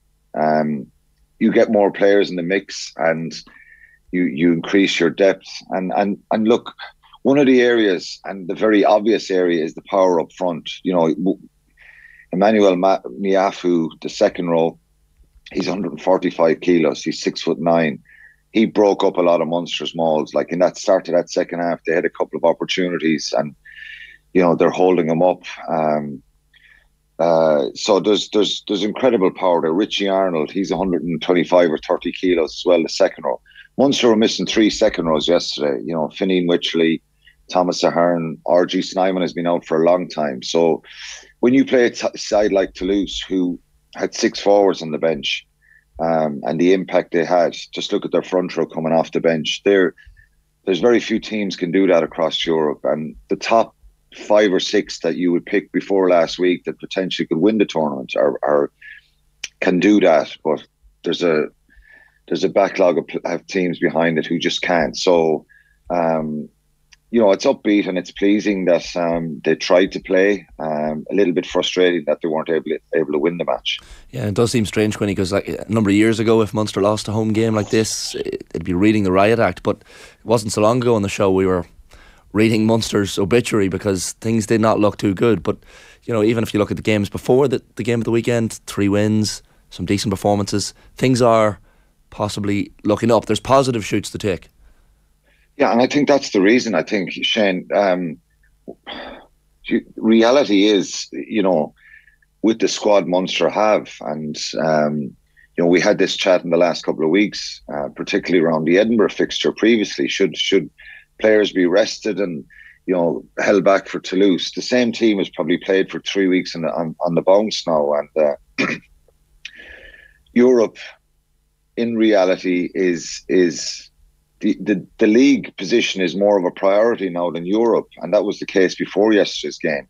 But Graham Rowntree's selection was as strong as he possibly could yesterday. So you know Munster would never disrespect the competition, pick a weakened team I'm sure they. I'm, I'm nearly sure they wouldn't. Um, but um, the reason there's positives is because people can see that they're they're trying to play better. Um, you can't physically take on a team like Toulouse up front and and think you're going to overpower them. Traditionally, Munster had you know a lot of strength and depth right across the board. So um, there's there's younger players here, and there's a lot of change, and there's certain areas that they're the depth chart is not good enough, and they've got to try and increase and improve that. And Graham Rowntree has in the next couple of years, so that's why there's a bit of patience there. What what you know, if Munster were humiliated yesterday, it'd be a big worry and a concern. But I actually thought, you know, their effort level, their commitment, they could have been a lot shrewder in, in certain things and um, that they did for sure. And they came up with some mistakes in that second half. But overall, I don't think they're getting a free pass here to say, you know, I think they'll criticize. There'll be certain, as I said, certain things that that should have been a little bit better, and um, but overall, I think they, you know, they they tried to attack, and I think that's why what people could see from yesterday. Um, someone who was humiliated were Ulster. Uh, uh, like may, maybe the rugby world expected something similar in terms of the outcome for this, but it felt pretty shocking. It felt pretty shocking, particularly. I, I only saw the last twenty minutes, so by that stage the game was was was done. But um, there was no cohesion in that final bit, even to like, or no sense of the team coming together and saying, right, this is really bad, but we need to show something here so that later on in the season we'll at least have these 20 minutes to go it was up against we were up against it and we showed them instead they just completely fell apart so um, it's it's kind of shocking um, that was probably the most surprising thing because even when they were 20 points down, you think they're going to react here. And, and um, of course, Sale may go on and score again, but you know, you get some points on the board, and it just never happened. Leinster and Ulster had obviously travel travel problems at the weekends. Um, Ulster looked like a team that um, never got off the plane at all. Um, they were to take off on Saturday um, get over to Manchester, have have a run out, have food, relax in the hotel, get all their business done, rest up, and obviously their plane was cancelled, and then they they end up traveling Sunday morning. Now one o'clock games, Ger, and uh, for me are always um, a bit of a scramble. You're up early trying to have that pre-match meal, and it's it's early. It's it's an early time in the day to to get the body up and running. I, I, don't, I don't know if any rugby players would like the, the kickoff time at one o'clock, but actually having to get out to the airport um, really early Sunday morning and travel over.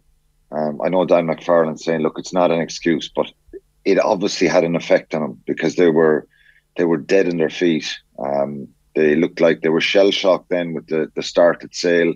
Had they never reacted and they're a better team than that. You know, Ulster are a better team than that. But psychologically is where at times in the last number of years where we've asked questions about about Ulster and that that hard edge and that ability to find a performance or find a little bit of grit and determination. Um, so it was surprising. I think it caught everyone on the hop yesterday. Um, and maybe the week before against Leinster in, in, in, in the RDS has had an effect that um, uh, you know that psychological blow in that second half performance and and lost to Leinster, but right across the board, it was a good Ulster side that was picked. Um, they were really dreadful, and they've got to pick themselves up for La Rochelle now at, on Saturday, which is a tough task in one sense, but but it's easy to to to get yourself up after such a bad performance. Um, and credit to Sale, they were very abrasive and strong and aggressive, and and that's what you get um, from them. But big worries for Ulster. I think physically they were dominated right across the board in every facet of the game. And like I know Quinny, they were missing some some big players, Henderson, Cooney, and, and Baloucoune not involved. But like, has too much been made of the the travel disruption? I know, look, it's not it's not ideal when you're even traveling in two different groups. I think some of them went to Birmingham Airport and some to Liverpool. Uh, far from ideal, but at the same time, it's a professional team that they have to be ready to maybe cope with little little uh, bumps in the road like that.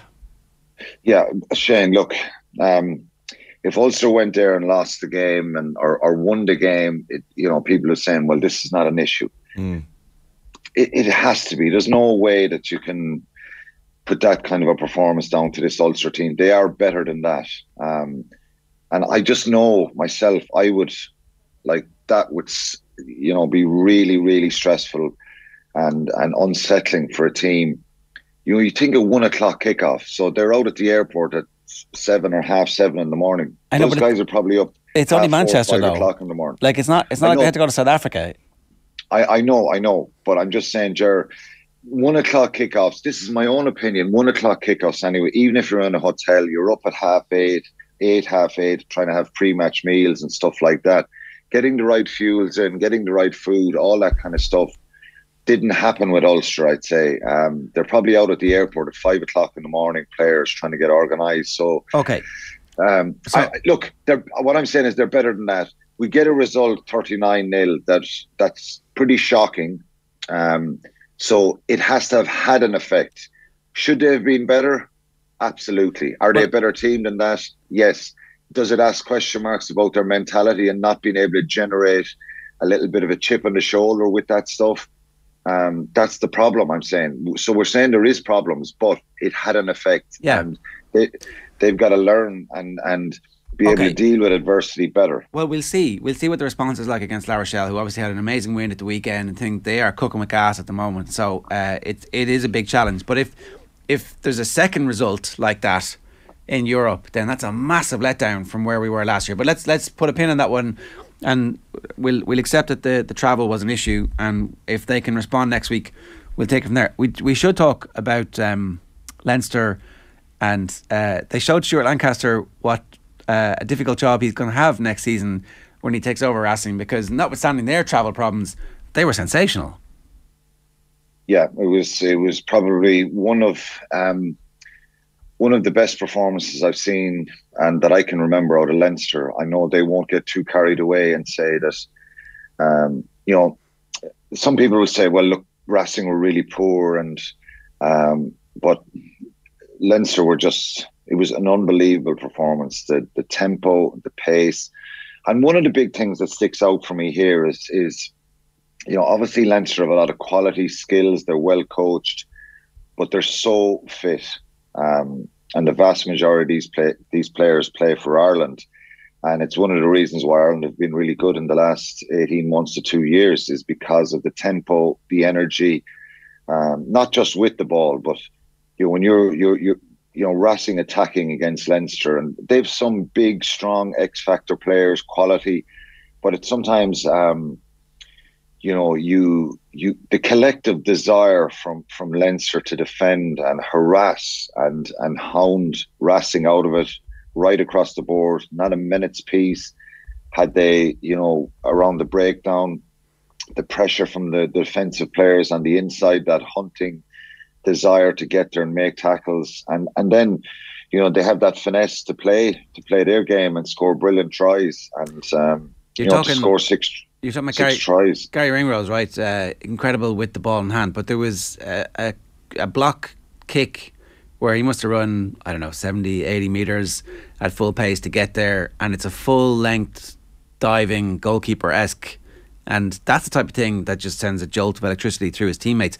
He wasn't even man of the match, but like there was five or six players who were absolutely sensational. And then obviously Caelan Doris, man of the match, because he's Caelan Doris and he's just playing at that level that he's at at the moment. So um, hard not to get uh, excited slash carried away if you're a Leinster fan. I know you're Well, saying they're, they're they- not going to get carried away, but No, they won't. But they've just um, they've given everyone a reminder how good they are and and the type of game they can play. And you know what, the work rate, the honesty, and that fitness level, it makes a huge difference. Honestly, believe me. You know when when you have so many guys who are so fit, um, and they can just put in so much effort, and they have that uh, attitude around how hard they work. That culture is created by the coaches and obviously driven by the players. Yeah. Um, so right across the board, they were just on song, and you know I know they had their travel issues, but um, they got there the night before at least. Yeah, Uh, it- it does to help. pr- To, to bring up to bring up that kind of a performance, and one thing Jerry will say about this Leinster side, you're now looking at five, six, seven guys in this team, and that might be some of them might be mightn't be happy with me saying this, but because they might think they're involved, it should be should be included. There's five or six guys in this Leinster team now that you're you're putting a world class bracket beside them.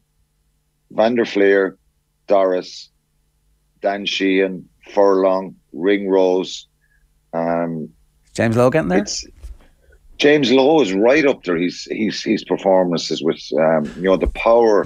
Put So when you can pick a team, so we're, we're Yeah, talking about a Sexton, he can get contrast. yeah, of course, Not yeah, playing. but we, he's, he's the obvious one. Furlong and, and Sexton have are, are not there, but you're now picking five, six more, more guys. So you're thinking if there was a world team of the year at the moment, the form they're showing and the quality they're showing across Europe here, and the quality they showed in New We're- Zealand. We're not going to clip They're- this though. We're not going to tell the rest of the rugby world that we feel this way. This is just our little secret. No, and we're not telling anybody yeah, about but just- because they're going to say we're on the carried back- away. Yeah. Yeah, but on the back of New Zealand, look, it's the, and and you talk about the contrast of depth and other teams. Yeah. This is why they're so good because you know Caelan Doris's performance on Saturday, and and he's just a wonderful player. He's a top top class international player who's constantly on it on it all the time. So, you know that's the luxury Leinster have. They have the quality and they have that depth, and um, We're out of time. It was reflected in their performance. We're out of time, Queenie, but I know um, weekends like this, um, sometimes there can be whispers. Is there any any whispers on Leinster coaching? Anything else that you're hearing over the weekend?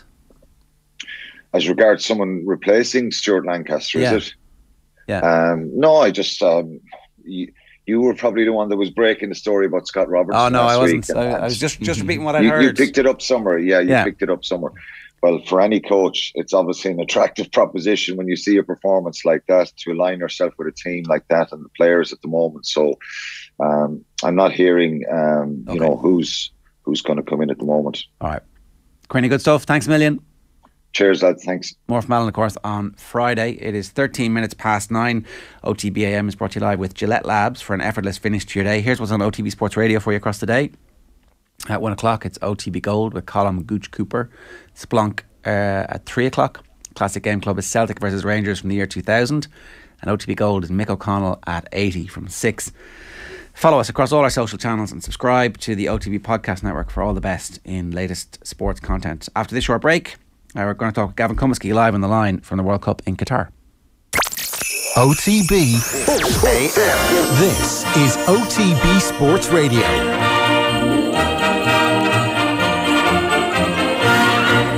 The Club Championship Show on OTB Sports. I always used to give Owen Sheehan a good bit of grief for his power rankings. They aren't easy, Will. I have Kilmacud Crokes as the number one team in the country. As a group, as players, we have not done one minute of video analysis of any team this year. Don't miss a moment of the GAA Club Championship. Download the OTB Sports app, subscribe to the GAA podcast feed, and watch the Club Championship Show every Wednesday across OTB's social channels. Are you a sports fanatic who loves to travel? Then sportspass.ie is for you. Log on for the chance to win the trip of a lifetime in 2023 to a top global sporting event. Eight winners get to choose from 12 incredible prizes, including trips to the Women's World Cup in Australia, the Super Bowl, the Masters, and WrestleMania. All prizes include return flights, accommodation, and tickets for two people from anywhere in the world. That's sportspass.ie. You win, you choose. OTB AM. With Gillette. Get into your flow with the new Gillette Labs Razor with exfoliating bar. Right, we're going to try and um, make sense of the World Cup quarter final weekend. Uh, and we're going to join Gavin Cummiskey in Qatar. Gavin, good morning to you. How are you? All right, Jer. How's it going? Um, that was ridiculous, really, the level of uh, what we saw at the weekend. We we've been talking the whole way through, like, you want some shocks, but you don't want too many shocks because weak teams end up getting there. But Morocco aren't a weak team. They're here totally on merit. No, no, no. Uh, I've covered all their games. I've gone very, um, I've gone a bit North African throughout my uh, World Cup experience. And uh, before the tournament, I spoke to Kil- Kev Kilbane, I think, about this in one of the early columns he did as well. If you break it down, they've got like two or three before the tournament now. They had two or three Champions League quality players, and the rest were high level. I think there's only two or three in in the starting eleven that play football in Morocco. Sorry, Bono plays in Saudi Arabia. Um, but if you go through the team, that no, he's Sevilla actually. Sorry, but the, there was a high level, the Liga, Premier League, some really good players, and like it was always on for them. And then they have in their coach, Walid, uh, is just he's just another level of tactical news. He said a very clever thing. He was basically like, I've been this good a coach for ten years, but nobody in Europe will hire an Arab. And so he he got his spoke in on that one, and he, he he's right to be honest. Um, it's not a surprise if you've been watching them, and I actually have been watching them for a couple of months. Um, and if you look like Amrabat uh, Doe has probably been the revelation of the tournament, either him or Ounahi, they've just they, like they've just taken apart every midfield, and they like what they did to Spain, how they held on, how they picked them apart, and dominated De Bruyne and Belgium. Like they really did. So yeah, it's a shock if you're coming in late to them, but um, if you've been keeping an eye on them even before and uh, while he came in as the coach in August, they were they'd gone they'd won twenty of twenty six matches under the Bosnian manager before that, and that was without Z- Ziyech coming back. And he's come back and he's been a revelation. He's like uh, a brilliant kind of showman player who also slips into the system and is an auxiliary right back. So um, it's the Arab world now firmly believes, and the African world firmly believes they can win the entire World Cup. Like it's it's becoming it's not just a whisper anymore. It's really becoming something special. And uh, presumably, you're hearing this manifest itself in the stadium and around. There's been, you know, we, we'll obviously talk about everything else and, and the, the rest of the corruption that led us to the point where we're at the World Cup in Qatar. But um, presumably, they're the uh, adopted home team at this point. Yeah, um, there's Moroccans everywhere in the world. Morocco, the, the, parallels to Irish football in the early 90s are, are enormous, except they've 40 million people and they've about 10 million expats. I'm talking first generation expats around the world. So they're in the Middle East, in the entire region. I couldn't believe it after the Spain game when I was walking through this, the souk on the way home. I got off early. I got off the, the metro early just to walk through it all. And it was it was Moroccan families so like they're from the region. They were driving home the next morning. You know, they came and did a like they, it wasn't uh, people. Obviously, thousands have come from Morocco, but all over the Middle East there's Moroccans of all different classes and uh, educated, uneducated, all over here working because they can slip and slide into it. And it's evident throughout the world that the support for them is enormous. I think the only Arab country or only African country that hasn't really got in behind them is Algeria, the neighbours. But like just try and imagine in like 1990, no, 94. Imagine in 94 if Ireland had a team that was not at the end of its kind of cycle. that wasn't a bunch of old guys. That was at their absolute peak. Um, and we're in America. What, uh, just imagine how the support would generate to be Irish Americans coming out. They're coming out of all angles. You know, imagine we got to that semi over there. That's what's happening now, and it's the support is everyone is behind them. The Qataris you you can see the Qataris at games because they're all they're in all white and they come in late to every match, and you can see them because they don't celebrate, they don't move, and there's patches of white in all the red around all these stadiums, which are being very badly run. It's really hard to get into stadiums. Like it was half empty 20 minutes 20 minutes into the game, the quarterfinal. It was just disgraceful stuff. But you can see the the, the local Qataris because the Moroccans are just bouncing. I mean, I'm talking like children uh, grown men, grannies, they're all just up and down singing, dancing, and the Qataris are just sitting there, like as is their tradition, not to show too much emotion in public.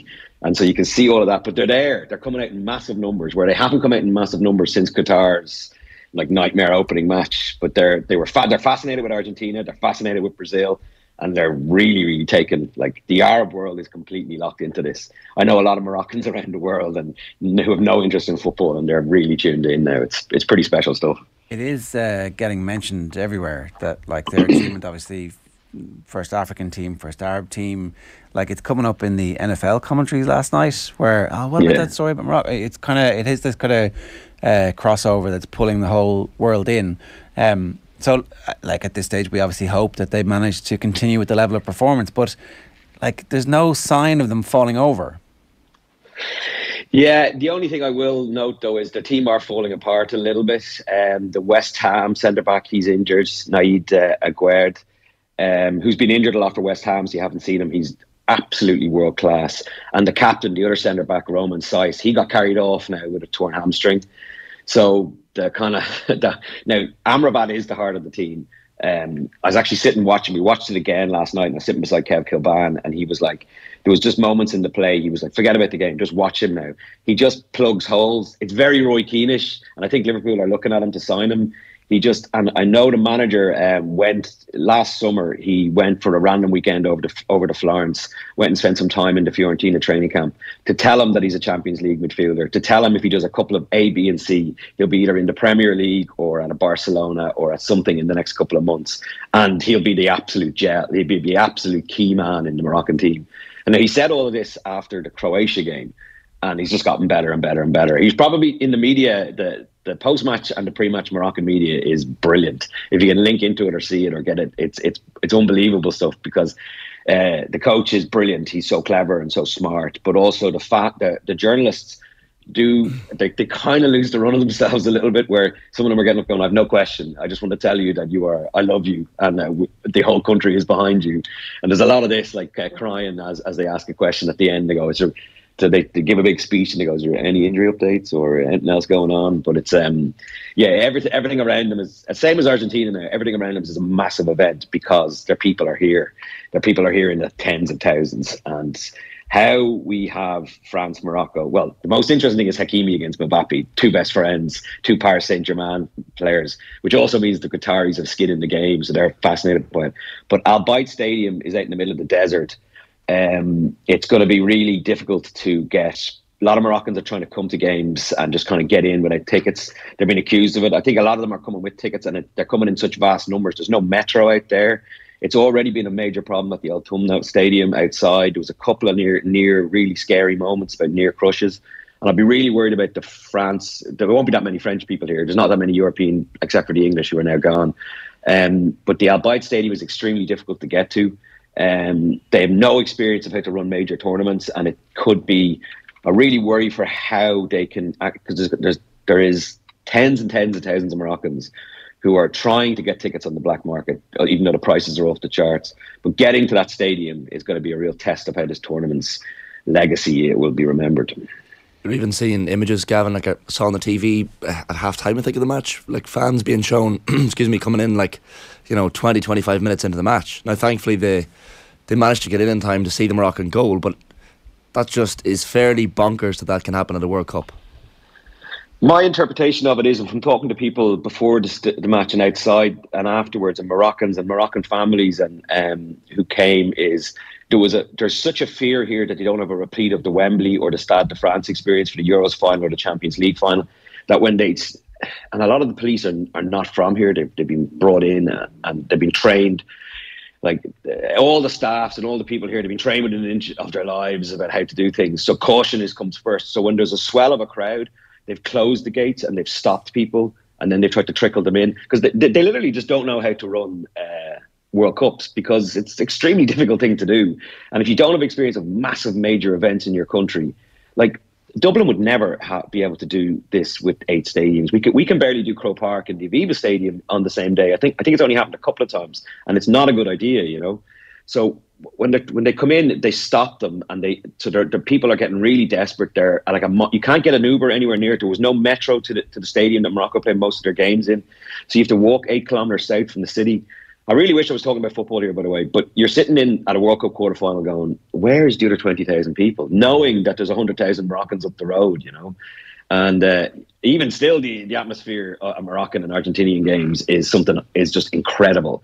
It's something that'll stay with me to the end of my days. I never thought I could see bigger than some of the experiences I've had in Croke Park and other Ireland football matches over the years. But what I've seen with the Argentinian fans in Lusail and Moroccans just everywhere in the city is it's really made it saved the World Cup. It's made it it's kind of overshadowed all the shameful stuff that's been done by FIFA and the Supreme Committee. It's um, it also it means that you're you know you're at the you're you're at the, the, a World Cup. You know what I mean? You really do feel like it's the, the games are it's unbelievably brilliant. But um, yeah, and there's there's a whole Irish story element when you look at the Moroccans. If you're here, you just see the, the granular thing and what what the FAI could have done in the 90s and what we didn't do like the way the Moroccans have gone in and scouted in Europe, second, third generation players. Ziyech is a great one. Like he's uh, he's their Zidane. He's the Zidane that Algeria should have had, if you know what I mean. Um, like he was Dutch. He got into Dutch squad when he was about 22, 23. And then somebody, a scout or an agent or somebody from Morocco got to him and said, you've grown up in Holland your entire life, but they've always treated you like a Moroccan. So why would you let the Dutch now treat you like a Dutch player because you're about to sign for Ajax? And so he flipped and became and went to Morocco. And Van Basten was his one of his early coaches said he was stupid and he turned around his quote in response to Van Basten was, "Yes, uh, Van Basten was a great player, but not a very good manager." I mean, it is an incredible story, and I think uh, they're definitely winning friends and influencing people for sure. Um, we should talk about the the Argentina game. Um, yeah, like the whole thing is. Uh, I mean, it's a.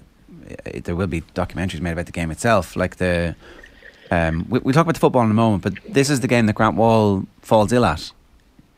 Yeah, um, I don't think we we all kind of came together. A lot of English and Irish journalists and a bunch of Canadians were there last night. We kind of came together to decompress the whole experience because, um, like, it's something.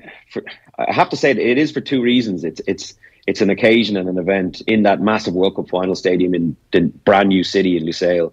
Argentina Netherlands is something that none of us will ever forget. Simply because Grant died in front of a good few uh, Irish reporters' eyes. I was a couple of rows down um, and the whole the whole the traumatic experience of what was happening as the penalty shootout was starting.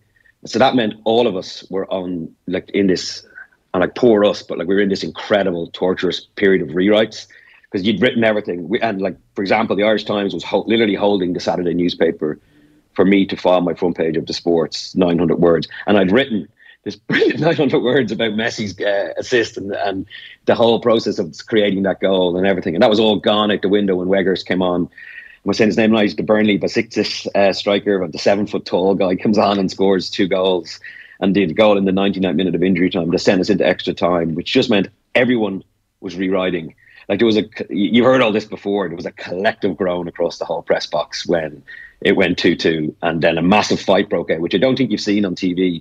Massive fight broke out between the Dutch and the uh, Argentinian players after the game. Not the one uh, that was started by kicking into the dugout, another one. So we were watching this and trying to rewrite, tearing up your pieces. And then the Grant stuff happened just at the end of extra time where he took ill and there was a 20 minute period of, res- of attempted resuscitation for him and uh, yeah, it was um, it was incredibly difficult to um, retain focus because you, you, you literally had no choice because again, as I said, the newspaper was waiting for my copy, but there was people coming down who were moved down the seats who were sitting beside me who were in a terrible and awful state because of what they'd just witnessed. And then we we just had to we just had to keep working and get on with it. And I remember being at the press conference after, and there was a couple of people who I know who were a bit shook, and uh, uh, me and another guy, we just left. We didn't wait for Messi. Imagine like being at a World Cup quarter final and going it doesn't really matter, you know. Uh, we just went and got the train home, and then the the flip side of that is you're on this, you're on the metro back into Doha, and there's thousands of Argentinians who are just deliriously happy, who have no knowledge about Grant Grant Wahl, and he's a brilliant American soccer journalist. And I actually, I, I was actually going to say to him, I didn't want to be kind of fanboy, but I'd seen him a good few times in the press box. I don't know him. A lot of the other lads did, but I remember that in 2002 he wrote the the Chosen One, the LeBron piece for Sports Illustrated. That was the when LeBron James was 17 years old, and uh, they got to him. They knew he was going to be like they were already saying he's going to be better than Kobe Bryant. He could be the next Michael Jordan. And Grant was the guy who did the first big interview, and they put a 17 year old high school kid who hadn't even been got into the draft yet on the cover of Sports Illustrated. And that was Grant. That was one of Grant Wahl's great, great pieces of work, and it's from 20 years ago. So um, yeah, it was that whole that whole thing. And It's um, I, my, my thoughts go out like to his family and a lot of his friends were here, and a lot of people who worked with him who um, football probably one of the greatest games of football you'll ever see. Or I don't know what, what your reception was or what you saw at home, but it was one of the most in, in, insane, beautiful events that I've ever been at. And um, for a lot of people, it's uh, only going to be remembered for one thing, unfortunately. Yeah, for sure. Um, in, incredible, difficult circumstances, and as you say, condolences to his family. It's just a horrific situation for them, and um, you know, uh, hopefully uh, they find some peace. Um, the, the football, obviously, I mean, uh, it being football continues. Um, has there been fallout from the rows and Emi Martinez basically saying this whole thing is corrupt? Like uh, his post match interview is one of the most remarkable winning interviews I've ever seen from anybody in any sport ever, where the interviewer keeps prompting him to go, "Yeah, but you've just it, it was great," and he's like, "Yeah, but the referee, what was that all about?" so, um, is there potential bans, yeah. or do they want to just like not ban anybody because it's a World Cup semi final? What happens? referee lost control. I think that was. I hope. I presume that was apparent on the TV. He also lost the, the Brazilian referee in England, France, completely lost control. It was looked completely out of his depth. Um, the uh, I, I, you know the, the now famous picture of uh, the, the Argentinian lads going right up into Dutch faces as they run towards uh, uh, the goal after winning. There's a backstory to that picture that needs to be told. Yeah, they well totally deserved it. Yeah, no, like Messi said it afterwards. Like, have you ever seen Messi as angry as he was afterwards? He went that thing where he puts his hands up to his ears. That was because of Louis Van Gaal uh, treated Riquelme terribly in the one year he was at Barcelona and didn't want him. And so that was Riquelme's celebration. So he was going doing that to Louis Van Gaal. There was like how Virgil van Dijk didn't get sent off for that body check. Again, I presume you saw that. Um, that was in play. He didn't even get booked. Um, there was a lot of stuff, but the, the Dutch had been completely needling the Argentinians. And like the Argentinians obviously don't need an excuse, you know. And once they won the penalty shootout, yeah, they stuck it to them. But it looks there's a perception out there, and it's all over social media that the Argentinians are a disgrace and they're they're bad sportsmen and all that. Everyone was at it. It was uh, it was chaos, and the referees not allowed to show red cards. I'm I don't know with certainty, obviously, but my opinion is that the referees just not allowed to show red cards at this tournament, and so it it should have been there should have been it, it could have been controlled and calmed down by a couple of cards. Also, Messi's blessed that he didn't get a second yellow, um, which would have been a nightmare. So there's something in that, but. Uh, I think it being FIFA and it being a World Cup semi final, I think they'll just creep past us and let's just get to the semis. And again, no, no, no red cards in the semis. Let's just get get ourselves into the final. A lot of people, I'd say, who work in FIFA just want to get the hell out of here as well because um, it's the best football tournament. Probably the best World Cup ever. It's certainly the best World Cup I can ever remember. '86, I was only a kid, so but '86 had such an impact on a lot of people my age, and I presume you as well, Jared. But uh, this is just it's been phenomenal. But off the pitch, if you get off the beaten track and you, you don't stick on the the FIFA buses and you don't go out to their their big media center that has beautiful food and beautiful. Do you know what the media center's like here? It's in the big Qatar National Library. It's like as if Google took over all the media houses in Ireland. And it, it's like a, it's basically like one big giant Google office where you can sleep there, you can do your laundry there. There's a medical center, there's everything. But if you leave that and get a few Ubers, talk to the Ubers, which are very cheap, obviously, for, because of the petrol. Uh, and if you walk to stadiums, if you go to the worker estates where they live, I'm, I'm writing a piece that's probably going to be published the Monday after the tournament, just about everything else I've seen outside of the tournament, and it's it's vast. And uh, for all the magnificence we're watching and the brilliance, and there's so many things we haven't even talked about here, uh, like the Argentinian fans just going to war with the FIFA the blaring of the music and these fake bands at halftime and everything. the Argentinian fans who are here in their droves and they found ways of, of affording it and they, they've taken over a little town which I have to go down and see. It's kind of like looks like the old Ballymun flats and they're all in there and they're in there every day partying. It's, oh, it's an old workers village. So there's so there's just so many other things happening off the pitch, and the treatment of hotel staff, the treatment of FIFA workers who might get a day off, working 10, 12 hour days, made stand up, no breaks for so much hotel stuff. Like we think we're working hard, and then you look at them, and like we get to go home, we're well paid, we get to go home for Christmas, we're going to get breaks after this. They just go pour into another job. Like it's the, the cruelty. Miguel Delaney wrote a piece in the Independent, the London Independent, which I sent people towards, where he compared it to what it must have been like for Europeans visiting the deep south of America in the 1860s, and he's not exaggerating. Um, it's it's it's horrific some of the things you see. Like if you don't have a plan, if you work here, you live here, you can make good money, you don't pay income tax, you can it, it's a gateway. There is a huge thing. It's a gateway to get a visa if you're African to America to another place. But um, if you don't have a plan when you get here, or if you come here as a, in a refugee status, I met an Afghanistani taxi man last night. There's no way out. There's no escape. Um, and it's like uh, because it's so strange the mood because you're, you're the joy of all the football we're experiencing, but then on the days off you see the grimness of Doha and the treatment of people who are they're not even called humans; they're called workers all the time, and uh, it's it's stuff that uh, it'll stay with me forever. Unfortunately. I look forward to reading that piece. Um, hopefully, you'll be home by the time it's published. yeah, I think I'm home. I think I fly out like at like 2 a.m. after the World Cup final. So um, we'll see. Listen, great stuff, Gav. Stay safe. Thanks a million for joining us. Cheers. It's like Gavin Cummiskey from the Irish Times there, um, trying to capture that broad sweep of all the stuff that happened over the weekend. Jesus, the split emotions, like, you know, when you, when you talk about the, the grimness of some of the things, as Gav says in Qatar, the absolute despair of what happened to Grant Wahl, and you compare it to the football, it's like, it's just, I think a lot of the journalists over there, I'm sure, just don't even know what to think after that weekend. No. Um, and uh, football keeps coming uh, relentlessly, like it always does. And uh, we're looking forward to two of the biggest games of all time. That is the the split emotions that FIFA are uh, really hoping that everybody has, because that way they get to take the money and put the football out. And we're like, oh, the World Cup was uh, on balance, you'd say, pretty good, right? That's that's how it all works. 9.36 this morning. Uh, thanks very much for uh, being with us today. OTBAM is brought to you live each morning by Gillette Labs for an effortless finish to your day. We're back tomorrow with Gav's pal Kevin the line from Qatar. Stephen Rochford will be on to talk about the new era of Mayo football and plenty more besides. Right now, we're going to leave you with football writer Philippe Auclair in conversation with Joe following the incredible World Cup quarter-finals as his nation remained in the driving seat to retain the World Cup. Have a truly festive day. Chat tomorrow. So we're talking World Cup. We're down to four. Argentina, Croatia on Tuesday evening is coming your way, and then France, Morocco on Wednesday evening. Drama across the final matches in the group stages, the last 16, and now the quarterfinals. It has been extraordinary, you would have to say.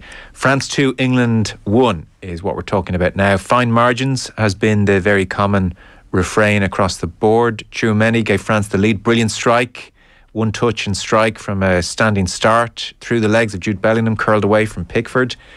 Harry Kane made it 1 all from the penalty spot 10 minutes into the second half. Then, against the run of play, I think it's fair to say, and via Harry Maguire's hand, Olivier Giroud did his thing. He scored what would be the winner. And then, of course, there was the late drama. Harry Kane, unable to repeat the trick from the penalty spot, blasting over the bar in the 84th minute. Marcus Rashford's free kick, also just over the bar, was the last kick of the game. Philippe Auclair is with us. That summary, of course, completely unnecessary. The whole world made a point of watching this game. Uh, this was a quarter final of a grand scale, Philippe, an absorbing game. Probably the game of the tournament so far, so in terms of the quality of, of some of the football. And in the end, the team that is used to winning uh, has won, and the team that is unfortunately for them used to uh, falling late in tournaments um, um, fell again. And uh, there is, of course, as you can imagine, great enjoyment in France, re- rejoicing even, but um, there's also uh, the awareness of the fact that uh, France progressed to the semi-finals um, through their talent, uh, the determination, their will to win, but also with a big slice of luck. Mm.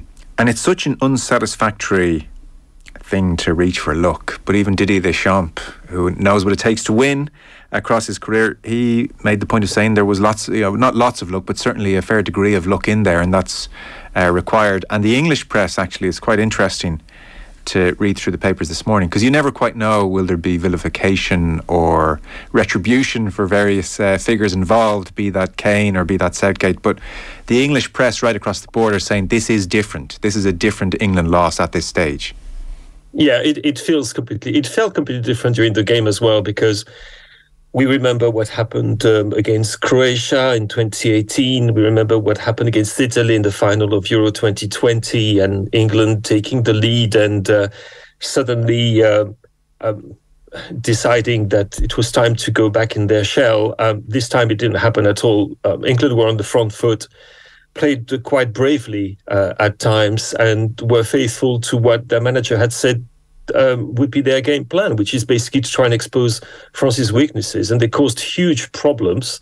And had it not been for another exceptional performance by Hugo Lloris, whom I think is certainly carries on being underrated, which is extraordinary for somebody who has had the career that he's had with uh, his national team, um, would have probably uh, uh, be you know given England a place in, in the semis. So Yes, I, I think the, the whole media climate, in any case, uh, has changed around this England team since Gary Southgate took over.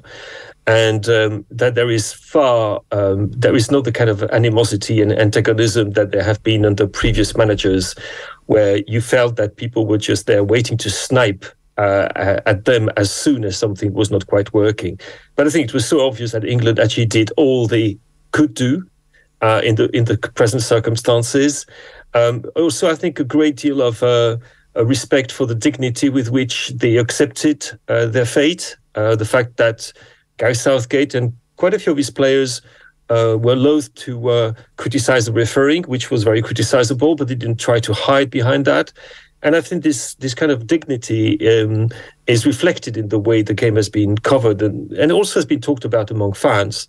That plus the fact, of course, the quality of the performance and the age of that team, um, which is still very low, um, make it look more like uh, another step in the right direction. And um, I, I, was talking to some to some French friends uh, and, and, some English friends as well too uh, earlier this morning, and I said, well, maybe this moment will be something comparable to what Sevilla 1982 was for France, um, when we felt that we had, you know, lost some penalties to the Germans, but completely undeservedly. But it was used as a, a springboard to something bigger, which was the the win in uh, Euro 1984. Sometimes that that's what happens, and there's definitely feeling. I think that the arc of growth of that England team hasn't come to an end uh, on that night. Mm. But that, on the contrary, there is something to be built on, especially if Gary Southgate carries on uh, taking care of that England team.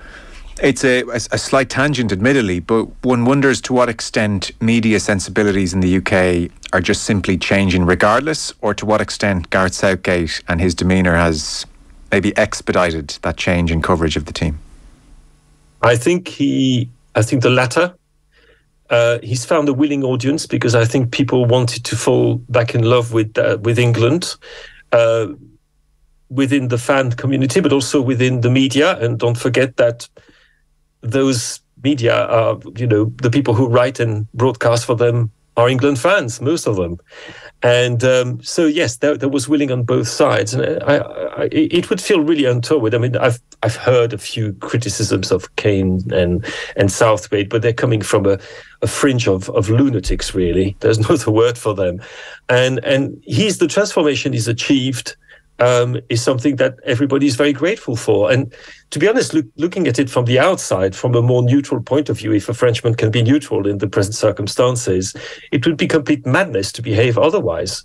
This is a very, very good team. And if you look at what Southgate has done after inheriting a team that had lost to Iceland at the Euro, um, took them to the semi finals uh, of, of the World Cup and the Nations League, uh, the final of the Euro, and now a quarter final which they lost just and perhaps because of bad luck against the reigning world champions. Well, come on, this is this is remarkable progress. And in fact, if you look at um, the England team over a period of a decade or so, um, this this is probably the most successful that it has ever been. Mm. Um, you know, because the 1966 triumph was not followed or preceded by other great triumphs. Actually, it was preceded and followed by other great disappointments. Yes, this is different. This is a consist consistently a consistent series of results at the highest level. Being one of the top six or eight nations, football nations in the world, is no small achievement. Mm. generally, given the vagaries of football, games don't pan out as billed. And this was billed as Mbappe versus Walker. And yet the uh, drama and the uh, deciding factors were elsewhere. That first 20 minutes uh, centred for me, and I'm, I'm curious for your thoughts around the player that you have flagged in all of our conversations, Antoine Griezmann. And then Oh, God, yes. the other player you flagged across this tournament has been Olivier Giroud. And they both came through for France last night in a big way. That first 20 minutes, France had the better of the game, certainly, and Griezmann was at the heart of that. Yes, well, I'm I'm running out of superlatives for Antoine Griezmann, um, who is for me the player of the tournament. Has certainly been the player of the tournament for France, um, ever present. Well, except against Tunisia, of course, which was a very very strange game. Um, but uh, he's been put in a position um, where he has to do things that he's perhaps never done before in his footballing career. He's al- always been a nine and a half or a or ten support striker, sometimes a, a centre forward, but it's never been this extraordinary mix of a six, a seven, an eight, and a ten, uh, which has been throughout the tournament. And the first forty-five minutes I he played uh, last night, to me, honestly, I'm, I'm I'm really struggling to find another 45 minutes by a French midfielder because that's what he is, a midfielder uh, that can ri- rival, rival with that. I would have to go back a long, long way, and it made me think, if anything, and obviously the uh, for younger listeners that might not be uh, a reference that will say or speak volumes, but he reminded me of what Michel Platini could do at the absolute top of his game. Uh, perhaps, um, you know, the goals, less the goals, which might come later in the tournament. I hope so, anyway. But he's been he's been astonishing. But Deschamps deserves a great deal of credit for that, by the way. No, not my, as you perhaps uh, know, he's not exactly a, a manager that I'm enamored with, or I was enamored with. But it took a lot of imagination as well to to think, um, okay, we're missing our two best midfielders, Golo Kante, Paul Pogba. What do we do? Well, we're going to rely on a very young holding midfielder who's going to uh, be Makelele Mark II, uh, Aurélien Tchouameni, plus plus the goals. Uh, we're going to have uh, Adrien Rabiot, who is a very inconsistent player um, in a more attacking role, and we'll count on Antoine Griezmann, a nine and a half or nine, who is going to play in the kind of Pirlo role, but at the same time be the main creator. I mean, it takes some imagination to do that, and it takes a real, it takes some very special managerial talent to make it work, to have people accept it, and, and especially Griezmann, but to make it work in such a beautiful fashion. Yeah. So on the on that side, as you said, you know, the game perhaps did not happen where some expected it to happen, but um, so you could say that from an England point of view, it did happen where they were expected it to happen because they wanted to nullify Kylian Mbappe, and to be honest, they did uh, for almost all of the game. They also wanted to target uh, the flanks, and they did to great effect. I don't think Hernandez would like to come across Bukayo Saka anytime soon, um, but where the game was lost and won apart from luck was the excellence of Hugo Lloris again, um, Tchouameni and Griezmann doing their job, and of course the incredible Olivier Giroud, uh, the man that you can't put down in strikes, you know, becomes France's all-time uh, leading goal scorer on his own this time, not just with DTRE, and and scoring a goal uh, which, you know, might, in, in retrospect, this is the goal that we might look back on, like we look back on the two goals Lilian Thuram scored in the 1998 World Cup. Yeah. That that is saying something. Yes. Via Harry Maguire's hand again. So again, the fortunes are at play here. Yes, yes. uh, Mbappe, all the same, when he gets the ball in the in the brief glimpses, brings everyone alive, be it in the stadium or at home, or indeed if you're on the pitch next to him, all the England players suddenly um, alive to the danger. I like I almost laughed out loud in the build up to the first goal, where Declan Rice, who was a big man and a strong man and a fast man, decided, well, I'm just going to have to take Mbappe down here. I'm just going to have to foul him and take the yellow card, and tried to go right through Mbappe, who rode the challenge. And you, and you just think this guy is is a touch uh, superhuman. So I mean, um, one suspects that he'll still have a significant part to play somewhere along the line. Is France now? Uh, very, very, very firm favourites in your eyes to win the World Cup, Philippe? I think uh, they have to be, uh, regardless of what favourite means in this World Cup. Mm. Uh, if we look back at what happened to Argentina against Saudi Arabia, what happened to Brazil, we could carry on like that. Um, I mean, obviously, Morocco have only conceded one goal, and it was an own goal since the beginning of the tournament. They're superbly organised. They're very, very tough we don't quite know what the impact of their exertions in previous games is going to be. We don't know how the absence of Saïss um, is going to weigh on their defense, a defense which is already missing a, a few players, but they're so tough to beat. They're, they're, they're as tough as the Greeks were at, Euro 2004, plus added menace when they counter. They're a very, very fine, uh, they're a very, very fine team. But on the other hand, I do think that France has got the kind of arguments that will make Morocco suffer more than they did um, in in their games against teams that tended to try and play too slowly around them. Uh, France has got players who can actually make a difference individually, uh, and and I don't hesitate to do that. And it can be Mbappe, absolutely. It can also be uh, Dembele. Uh, it can be Griezmann.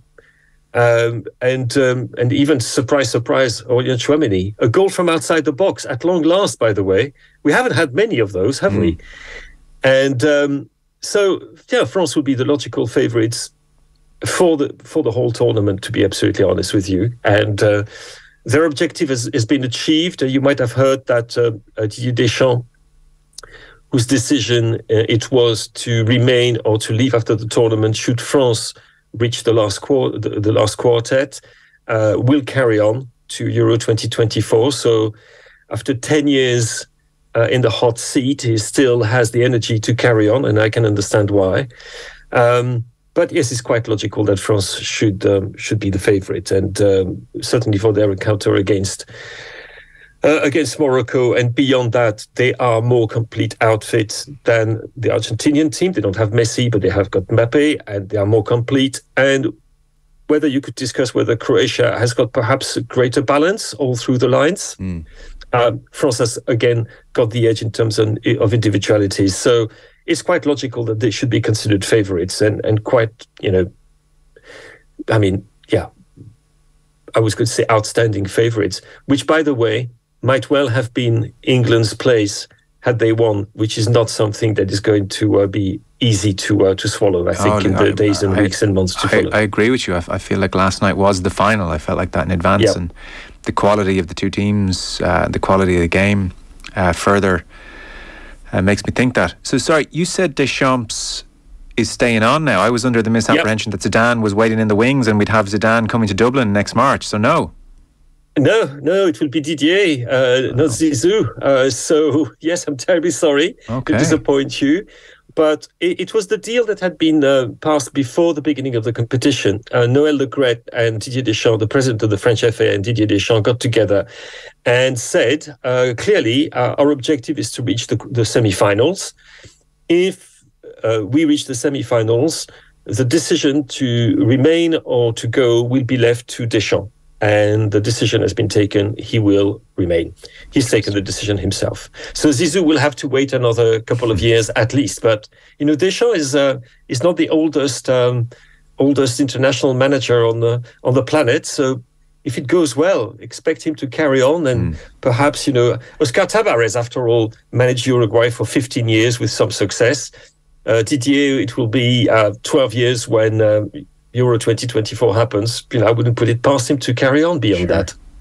On uh, Deschamps, so this legendary playing career, and now he's morphed into this uh, on the verge of being a legendary manager if they succeed over the coming two games. It's interesting yeah. you say you're not so sure if you rate him all that highly. Uh, can you explain to me, who's not watching no. France week in, week out, where the, the issue is? No, it's not rating him highly. I rate him very highly. Right. It's not that it's it's the kind of football that he's made his teams play. But I have to say, I've been pleasantly surprised with this this France team in this tournament. I think they've been far more expansive than they've been in the past, and one of the reasons for that uh, is is the presence of of Griezmann as as a creator. Um, as a deep line creator, and suddenly it changes a lot. The ball travels very, very quickly indeed. I mean, some of the angles of passing, some of the movement in the first 15, 20 minutes against England yeah. was just magnificent yeah. to watch. It yeah. was just absolutely magnificent. And we haven't been used to France playing that way.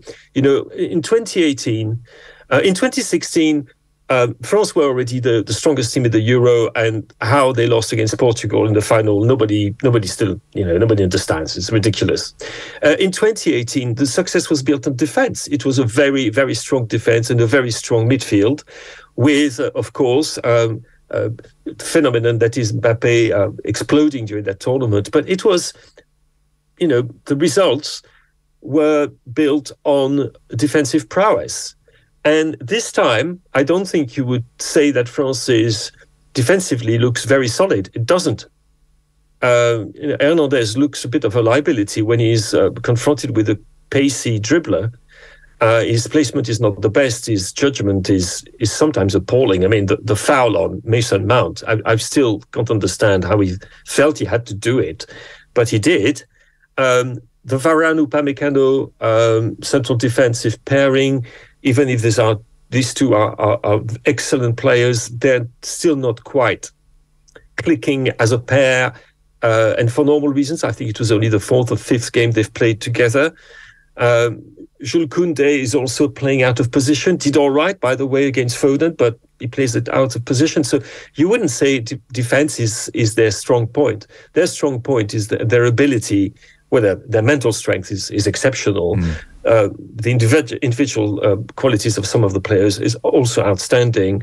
But it's also it's the willingness of that team to go forward and to create danger, which honestly is not something you were seeing with Deschamps' team in the past. Yeah. Which is one of the reasons you can respect and admire a manager for his achievements. And I think not to do that for Deschamps would be absolutely ridiculous.